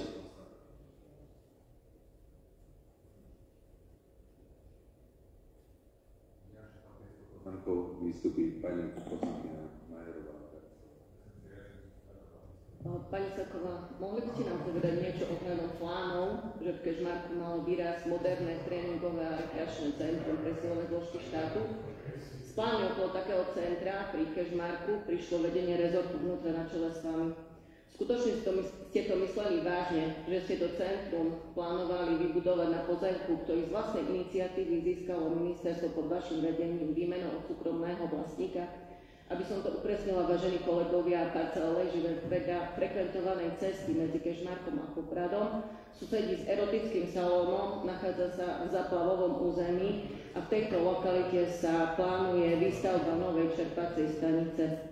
Takúto zámenu skutočne považujem za veľmi, veľmi nevýhodnú pre štát a takéto nevyhovujúce prostredie malo podľa vás slúžiť pre telesnú a rekreáciu, rekreáciu policajtov a záchranárov? Takto ste si vážili ich prácu? To si skutočne na tomto mieste chceli vybudovať tréningové centrum? Dnes to ostalo ministerstvu vnútra akurát tak, ako prebytočný majetok.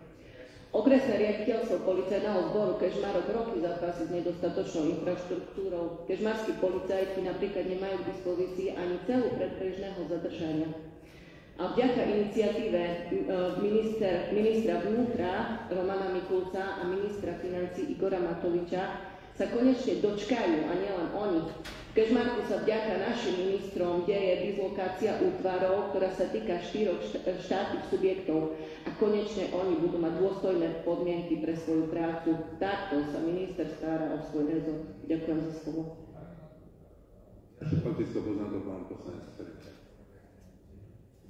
nie hľadanie riešení, nie pomoc ľuďom, ale boj o udržanie si svojich miest je typické nielen pre ministra Mikulca, ale aj pre jednotlivých ministrov tejto vlády. A dnešné vystúpenia len svedčia o tom, že to nebola obhajoba faktu, ale obhajoba emócií, výkrikov a snaha zakryť svoje vlastné zlyhania.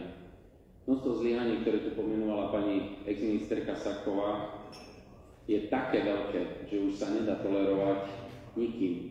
Nie ľuďmi, nie tými, kto sa zamýšľajú, ako by mali byť riadené ministerstva. Asi najlepším riešením, ktoré by možno pán minister dnes mal vykonať, rovno predstúpiť a povedať, že odchádza sám. A nečakať, kým bude odvolaný, pretože tak aspoň by si zachoval svoju tvár. A možno by mal predstúpiť pred médiá a vysvetliť všetky tieto obvinenia alebo veci, ktoré boli poukázané v jeho zlyhaniach, tak by si zachoval tú svoju čest a svoju tvár. Tým, že tu nie len, že nie je, ale predstupuje len kabinými argumentami, svedčí o tom, že asi nevie odpovedať na základné otázky. A čo sa týka možno Kešmarko, ako úžasne to tam funguje, taký podstav policajtov, aký je momentálne v policajnom zbore v Kešmarku, asi neexistuje nikde inde v žiadnom okrese na Slovensku. Pretože namiesto toho, aby jednoducho tie hliadky boli, či už na obchodnom oddelení alebo okresnom oddelení, zabezpečené neustále a v dostatočnom množstve, tak musí potvrdiť, že mestská policia supluje, supluje túto činnosť v meste Kežmarok, pretože okres Kežmarok je veľmi zaťažený, zaťažený aj tým, že 53% je rómska populácia a každý jeden výjazd, ktorý ide do osady bez policajnej hliadky, tam nejde, nejde tam ani sanitka, ani záchrana, ani hasičský zbor, všetky všetci policajti sú presne tam alokovaní v meste práve. Ďalšia faktická poznámka, Temsky, sa páči na Ďakujem, pán predseda. E, pani kolegyňa Denisa Taková, e, ja som veľmi rád, že ste sa tu vyjadrila, pretože vy ste bývalá ministerka vnútra a vy ste človek, ktorý bol právom označený za pravú ruku Roberta Kaliňáka, pracovali ste na ministerstve vnútra od roku 2007. Poznáte to tam veľmi dobre, ako svoje boty, ako sa hovorí. A vy ste to tu zarecitovala veľmi pekne, dojemne, ale chcem vám ja prečítať niečo, čo hovorí Bernard Slobodník, bývalý šéf finančnej policie NAKA.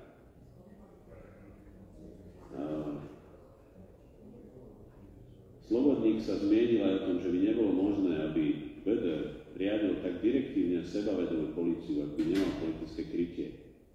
Bol som prítomný, keď Beder telefonoval s niekým a povedal mi, buď ticho, volá mi Fiko, alebo volá mi šéf, opisuje Slobodník. Nešlo, nešlo však len o Roberta Fica, pokračuje. Podobne bol prítomný pri telefonátoch Bedera s Kalím, Bélom alebo kapitánom. Takéto rozhovory boli viaceré, bol som pri nich osobne účastný. Advokáta zaujíma, prečo Slobodník vôbec rešpektoval Bedera, prečo ho prijal za svojho tieňového šéfa. Ten odpovedá, že rešpekt si zabezpečil Bedor pri úvodnom pohovore, ktorý mal ešte predtým, ešte stal riaditeľ Národnej finančnej policie.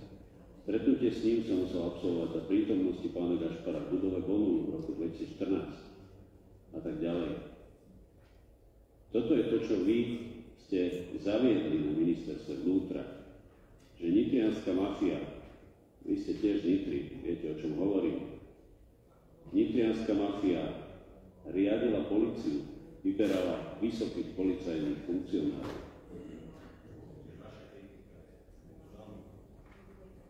Ďalšia faktická poznámka, pán poslanec Pročko, nech sa páči. Pani Saková, to bola taká uh, krásna ukážka uh, toho, ako vy sa viete dať do takej polohy uplakanej, princeznej, ktorá rozpráva o tom, ako tu ľudia budú trpieť, ako príde strašná kríza, toto ste tu predviedli krásne v tom rúžovom, nádhernom biznis um, centrovom um, smerohlasáckom oddelení. Pani Saková, vy ste tam robili také čachre machre, aj s tým vašim priateľom osobným Zurianom, ktorý v Tatrách vlastní, vlastne nevlastní, len býva v cudzích domoch, váš osobný priateľ.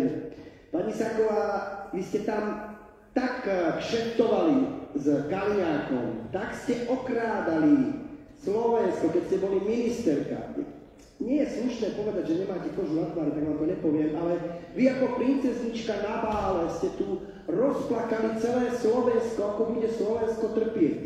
Slovensko trpelo, keď ste vy, Denisa Saková, boli ministerka vnútra, keď ste kšeftovali, keď ste si tam robili kšefty.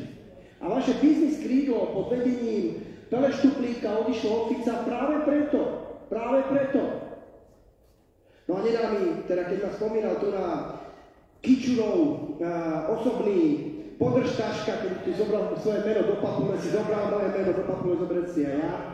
Kičurov podržtaška Ešto sa tu ide proti mne, reagovala mňa... Poslanec, máte reagovať na vystúpenie pani poslanky Sakovej a nie na ďalšieho poslanca, prosím pekne. Držme sa.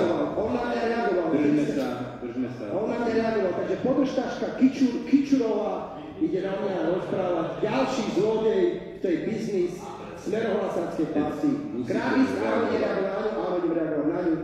Pani Saková, vy ste nerobili nič iné, len ste tam kšeftovali a teraz zase chcete kšeftovať a bojíte sa. Vy sa bojíte spravodlivosti. Bude reagovať pani poslankyňa Saková? Nech sa páči. Ďakujem veľmi pekne za slovo, pán predsedajúci. Ďakujem kolegom za faktické poznámky. Pani Majorová Garsková, taká maličká oprava. E, tie plány, o ktorých hovoríte, bolo roku 2013-2014, kedy nebolo ministerstvo vnútra pod mojim vedením, nevadí. A druhá vec, že žiadne to výcvikové centrum tam ani nie je doteraz, a, lebo asi to nikto ani nechcel.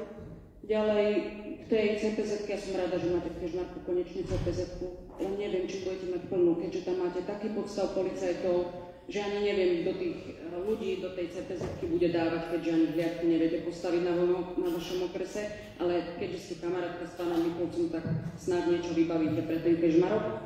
No a pán poslanec... Prepačte, ja vás prežím, pán poslanec, viete dobre, že nesmieme chodiť v sále. Ešte raz a dám vás vykázať. Prosím pekne, pani, pani poslankyni, pani poslankyni Sakovej vráte ešte raz dve minúty. Ja sa ospravedlňujem, že sa sa preužiť, ale, ale porušovali poriadok.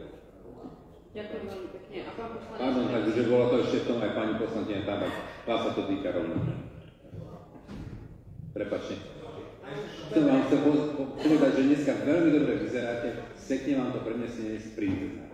Ďakujem veľmi pekne. Ďakujem za tie veľmi A pán poslanec Kremský, ono, viete, troška cynické je rozprávať o tom, že som z Nitry. Keď sa moji rodičia raz rozhodli, že bude mama rodiť v Nitre, tak sa to nerozhodol pán Beder, ale moji rodičia, to je prvá vec. A druhé, keď sa tu obraňujete tým, čo povedal pán Bernard Slobodník, myslíte toho pána Slobodníka, ktorý sa, ktorý sa pýtal svojich kolegov, aby si na niečo spomenuli, pretože on si nič nepamätá a musí niečo povedať na špeciálnej prokuratúre, aby sa zahladili všetky jeho trestné činy, tak to už je fakt argument. No a na pána Pročka to nebudeme reagovať. Ďakujem veľmi pekne. Ďakujem. Teraz v rozprave vystupí pán poslanec Šutaj, ešte nech sa páči, máte slovo. A aj vaše sako dneska veľmi pochválne. Výnimočne pestro rozvlečení svietite tu na, ako pani poslankyňa Saková. Tak, vážené páni poslankyne, vážení páni poslanci, ale aj vážení páni noví ministri, ktorí tu dnes nie ste, Káčer, Irman a najviac mi je pána Karasa. Chcem sa vás opýtať takto na ďalku, ako sa vám sedí v novej vláde? Či ste píšli na svojho kolegu Igora Matoviča, ktorý tu dnes predniesol svoje mentálne splašky a uviedol stanovisko vlády Slovenskej republiky, v ktorej aj vy sedíte, aj vy pán Káčer, aj Irman, aj pán Karas. Hovoril aj za vás. Už ste hrdí, akou bandou ste sa to spolčili. A ste hrdí na Matovičovú bábku toho neviditeľného vraj premiéra Eduarda Hegera, karikatúru premiéra, ktorá vám vraj garantuje politickú podporu. To akože ten Heger, ktorý dnes ani nemal tú odvahu, aby vystúpil za týmto pultom a poslušne prenechal miesto svojmu chlebodarcovi a šéfovi Igorovi Matovičovi alebo psychovi, ako ho už zvykne volať slovenský národ.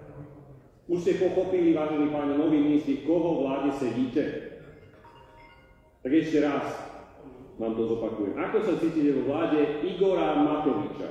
Ste pripravení zakrývať svojim odborným a dlhými rokmi budovaným menom tieto zvratky, ktoré tu predniesol a zanechal jeden vážne psychicky chorý, narušený jedinec. A čo vaši ďalší kolegovia?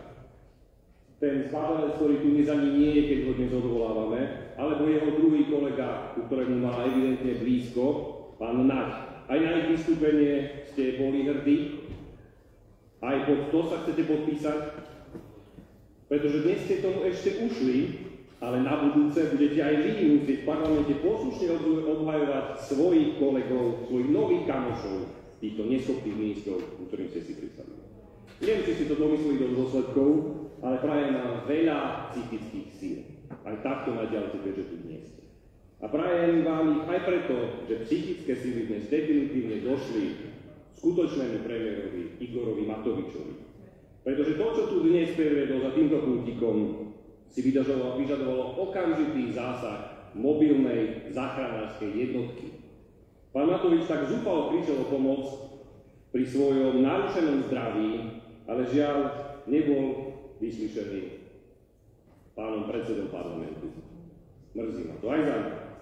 Dámy a páni, musím sa vrátiť k tomuto, čo tu dnes Igor Matovič predviedol. Dnes sme videli priamy dôkaz, kam sa dostala na Slovensku demokracia. Jeden psychicky chorý, vyšinutý a narušený človek narozprával v parlamente toľko lží a urážok, že sa to naozaj nedalo spočítať. Samozrejme, že nemal odvahu, pretože je zbabelec vystúpiť v rámci rozpravy, kde by sa na neho dalo reagovať. Ale ako posledný zbabelec zneužil právo predniesť stanovisko vlády namiesto svojej pápky Hegera. A namiesto stanoviska vystúpil s výplodmi svojho chorého mozgu, ktorému jeho kolegovia pročkovci tak nadšene tieskali stojí, že sa nehambíte. Tento zbavovec sa skrýva za parlamentný púl a za svoju, púl a za svoju imunitu, vďaka ktorej nemusí čeliť trestnoprávnej zodpovednosti za svoje choré výroky. Ale my vieme, že nemá zmysel zahovať, pretože nebudeme robiť zbytočnú prácu vyšetrovateľom na NAKE. On potrebuje peč a zodpovednosť od vyšetrovateľov na psychiatrickej jednotke. Každého normálneho človeka musela obchádzať hrôza, keď dnes Matovičov prejav v parlamente sledoval. Pretože táto krajina je v rukách šialenca a nemá žiaden nástroj, aby sa ho konečne zbavil. Slovenskí občania sú rukojemníci jedného chorého človeka, ktorý nás každý jeden deň presvieča o svojom pokračujúcom duševnom úpadku. Nestačí, že musel pred rokom a pol odstúpiť z postu premiéra, pretože nezvládal svoju funkciu. Nestačí, že z ústavnej väčšiny 95 poslancov sa dopracoval 70 poslancov a musí teraz kupčiť aj s fašistami, aby bol získal podporu pre jeho menšinovú vládu. Najhoršie na tom je, že je nedotknutelný. Pýtam sa, zaznel dnes v tejto Matovičovej stoke aspoň jeden jediný argument na obhajobu jeho neschopného ministerského kolegu pána Mikulca. Zaznelo niečo iné ako Petra špiny a nenávisti. Skúste si to pozrieť sami a sami si odpovedajte, či to tak bolo. Je to strašné, že 5,5 milióna občanov Slovenskej republiky je rukojemníkom jedného, zopakujem to zase, šialenca, ktorý nezvláda ani vládu nad vlastnou psychikou, nie to ešte vládu nad Slovenskom. Igor Matovič dobre vie, Prečo tu dnes vypustil tieto oblúdne splašky? Potrebuje hocičo, čím prekryje svoju zúfalú neschopnosť pomáhať ľuďom na Slovensku. Potrebuje hocičo, čo vykonávateľa jeho príkazov Romana Mikulca udrží vo funkcii. A potrebuje hocičo, čím by pošpinil najsilnejšiu opozičnú stranu, ktorá tento spôsob politiky absolútne odmieta a ponúka namiesto toho jasnú alternatívu voči týmto vládom. Namiesto reakcií na tieto odporné lži naopak vyzývam ľudí. Pozrite si prosím dnešné vystúpenie ministra financí Matoviča a majte stále na pamäti, že tento chorý človek dnes má v rukách celé Slovensko. A my nemáme žiadnu možnosť, ako sa voči tomu brániť. A teraz sa môžeme venovať predmetu dnešnej schôdze, ktorú tu Igor Matovič tak úspešne zamhlil a o nič inému ani nešiel. Určite si spomeniete, ako sme tu odvolávali ministra Mikulca pred pol rokom. Odvolali sme ho, lebo fatálne nezvládol utečeneckú krízu a za svoje zlyhanie, ako obyčajne, prehadzoval zodpovednosť na iných svojou aroganciou voči tým, ktorí na rozdiel od neho urobili maximum preto, aby pomohli utečencom. Ale pánovi Mikulcovi nestačilo prísť na samozprávy a na dobrovoľníkov. On sa rozhodol, že si z vlastného prúseru spraví dobrý stranický biznis. Namiesto štátu povoril manažovaní utečeneckej krízy súkromnú firmu, o ktorej už sme tu viackrát počuli, firmu Dastri. Ale v tejto firme neprešiel nejakom transparentnom výberovom konaní alebo verejnom obstarávaní. Ako nám títo tzv. bojovníci proti korupcii, ktorí tu dnes sú priamo traja, pred voľbami slúbovali. Kdeže Túto firmu odporučil ministrovi Mikulcovi podnikateľ Julius Slovak, priamo spojený so schránkovou firmou ORA. Tento pán Slovak je osobný priateľ Igora Matoviča a Eduarda Hegera, ktorému dokonca pred voľbami v roku 2020 robili, robil tento pán Slovak osobnú kampaň osobnú kampaň v chránkovej firme Oran. On z peňazí, ktoré má od štátu, teda od nás všetkých, zaplatili Oraniaci vo výške 100 tisíc eur za politickú kampaň. A tento pán zrazu sa zjavil na ministerstve vnútra a priateľský poradil tomuto neborákovi, ktorý tu dnes mal sedieť, Mikulcovi, aby na manažovanie utečeneckej krízy zasnúdil eventovú a svadobnú agentúru Dastri. No a samozrejme pohotovo potom nakračal do firmy Dastream a robil tam subdodávku, aby tie peniaze prišli priamo k nemu, Eduardovi Hegerovi a Igorovi Matovičovi. Pekná zlodejina, ale dosť. Minister Mikulec skladka zabil dve muky jednou ranou. Svoju zodpovednosť hodil na súkromnú firmu a za milióny eur z našich spoločných peňazí a ešte aj nakrmil kamaráta, podnikateľa, totálne prepojeného s stránkovou firmou Orano, Hegerom a priamo Matovičom, korupcií.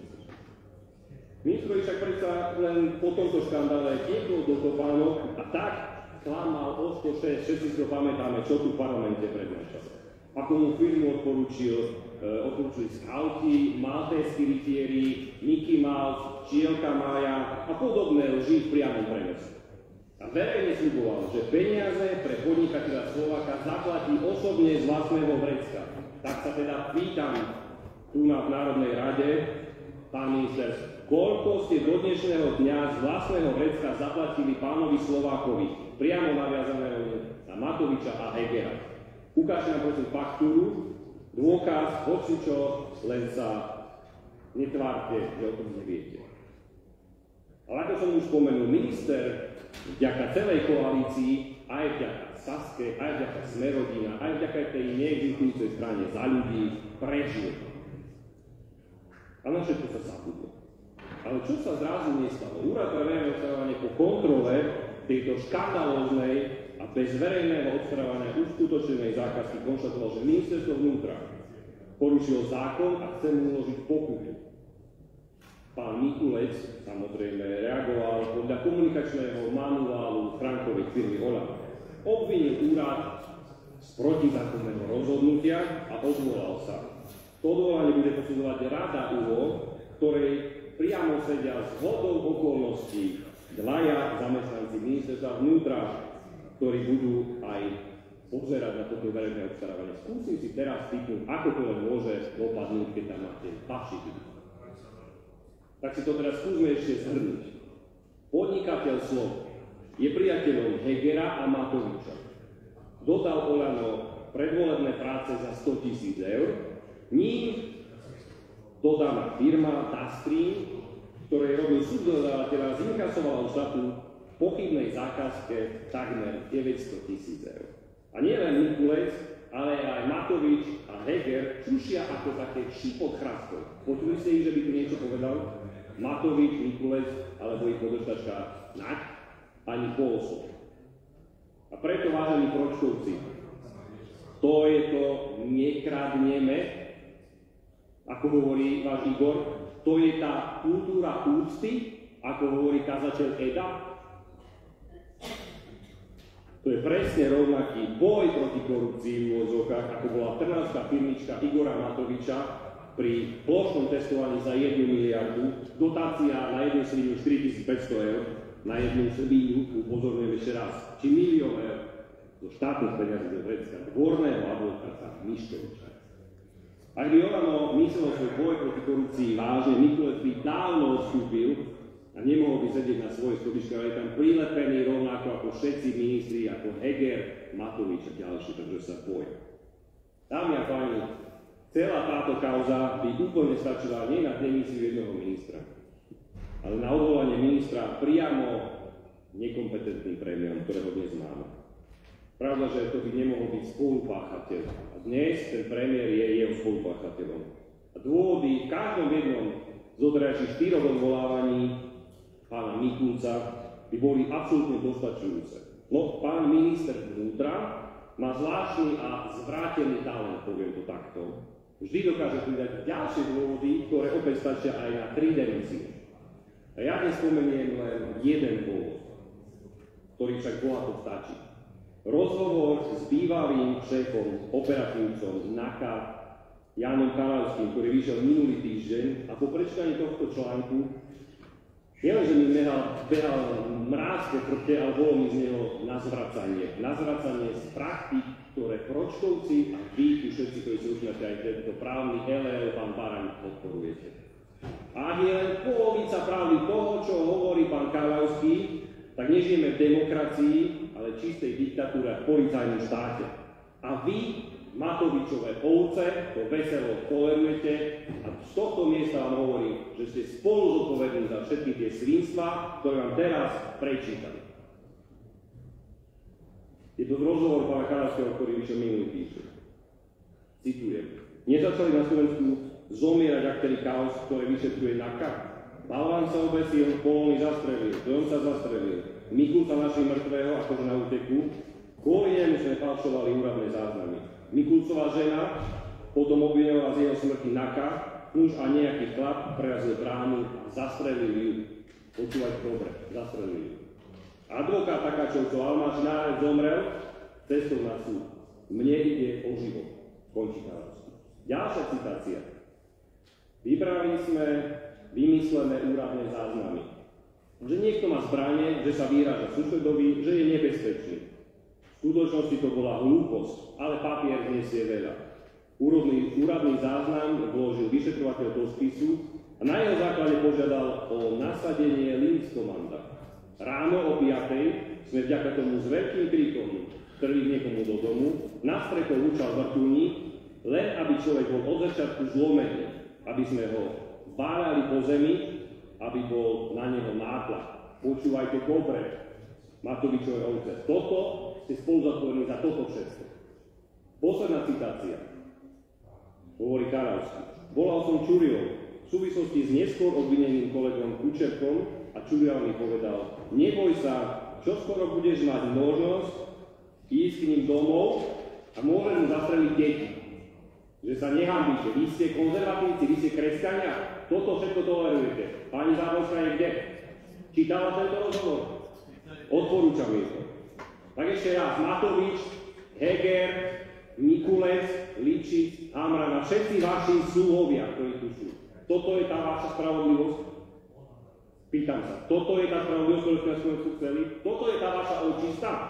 Toto je ten váš právny štát? Aj z tohto rozhovoru budete tak citovať na všetkých vašich tlačovkách alebo vystúpeniach, ako tak radi citujete všetkých tých kajúcnikov? Vy ste urobili zo Slovenska jeden policajný štát, ak nie je niečo horšie. A jediné, čo dokážete, je trepať non-stop nezmysly o mafii, tak ako tu predo mnou trepal ten chorý človek Igor Matovič. A keď si tento rozhovor, ktorý vyšiel minulý týždeň, prečítajú ľudia, pochopia, to je na Slovensku skutočná mafia. A ja to tu poviem veľmi otvorene. Skutočná mafia na Slovensku je Igor Matovič, Roman Mikulec, jeho asistent Heger, ich poskok Hamran a ich šéf Toto je skutočná mafia na Slovensku. Dôvody na odvolanie ministra vnútra sú dokonalým obrazom podvodu, ktoré sa Olano, stránková firma, dopustilo pred voľbami. Pretože pred voľbami slubovali boj proti mafii, slubovali boj proti korupcii, slubovali transparentnosť. Dnes nedokážu poslať do Slovensky jedného neschopného ministra, ktorý kryje korupciu, netransparentne rozhoduje o štátnych peniazoch a nesie plnú zodpovednosť za vyčíňanie skutočnej mafie, ktorú vy všetci, ktorí nebudete hlasovať za odvolanie ministra Mikulca, podporujete. Preto vám posielam jeden odkaz od ľudí, že stačilo, dosť, pobalte sa a zmiznite. Tri faktické poznámky na vaše vystúpenie. Ospravedlňujem sa. Uzatváram už s faktickými poznámkami 5. Ako prvý pán poslanec Kremský. Vážený pán odborný gigant Šutaj Eštok, za zaujímavom som si vypočul ten záver vášho príhovoru. Rozprávali ste nám o tom, ako ste zvracali a podobne, no neviem, či na toto sme naozaj zvedaví. E,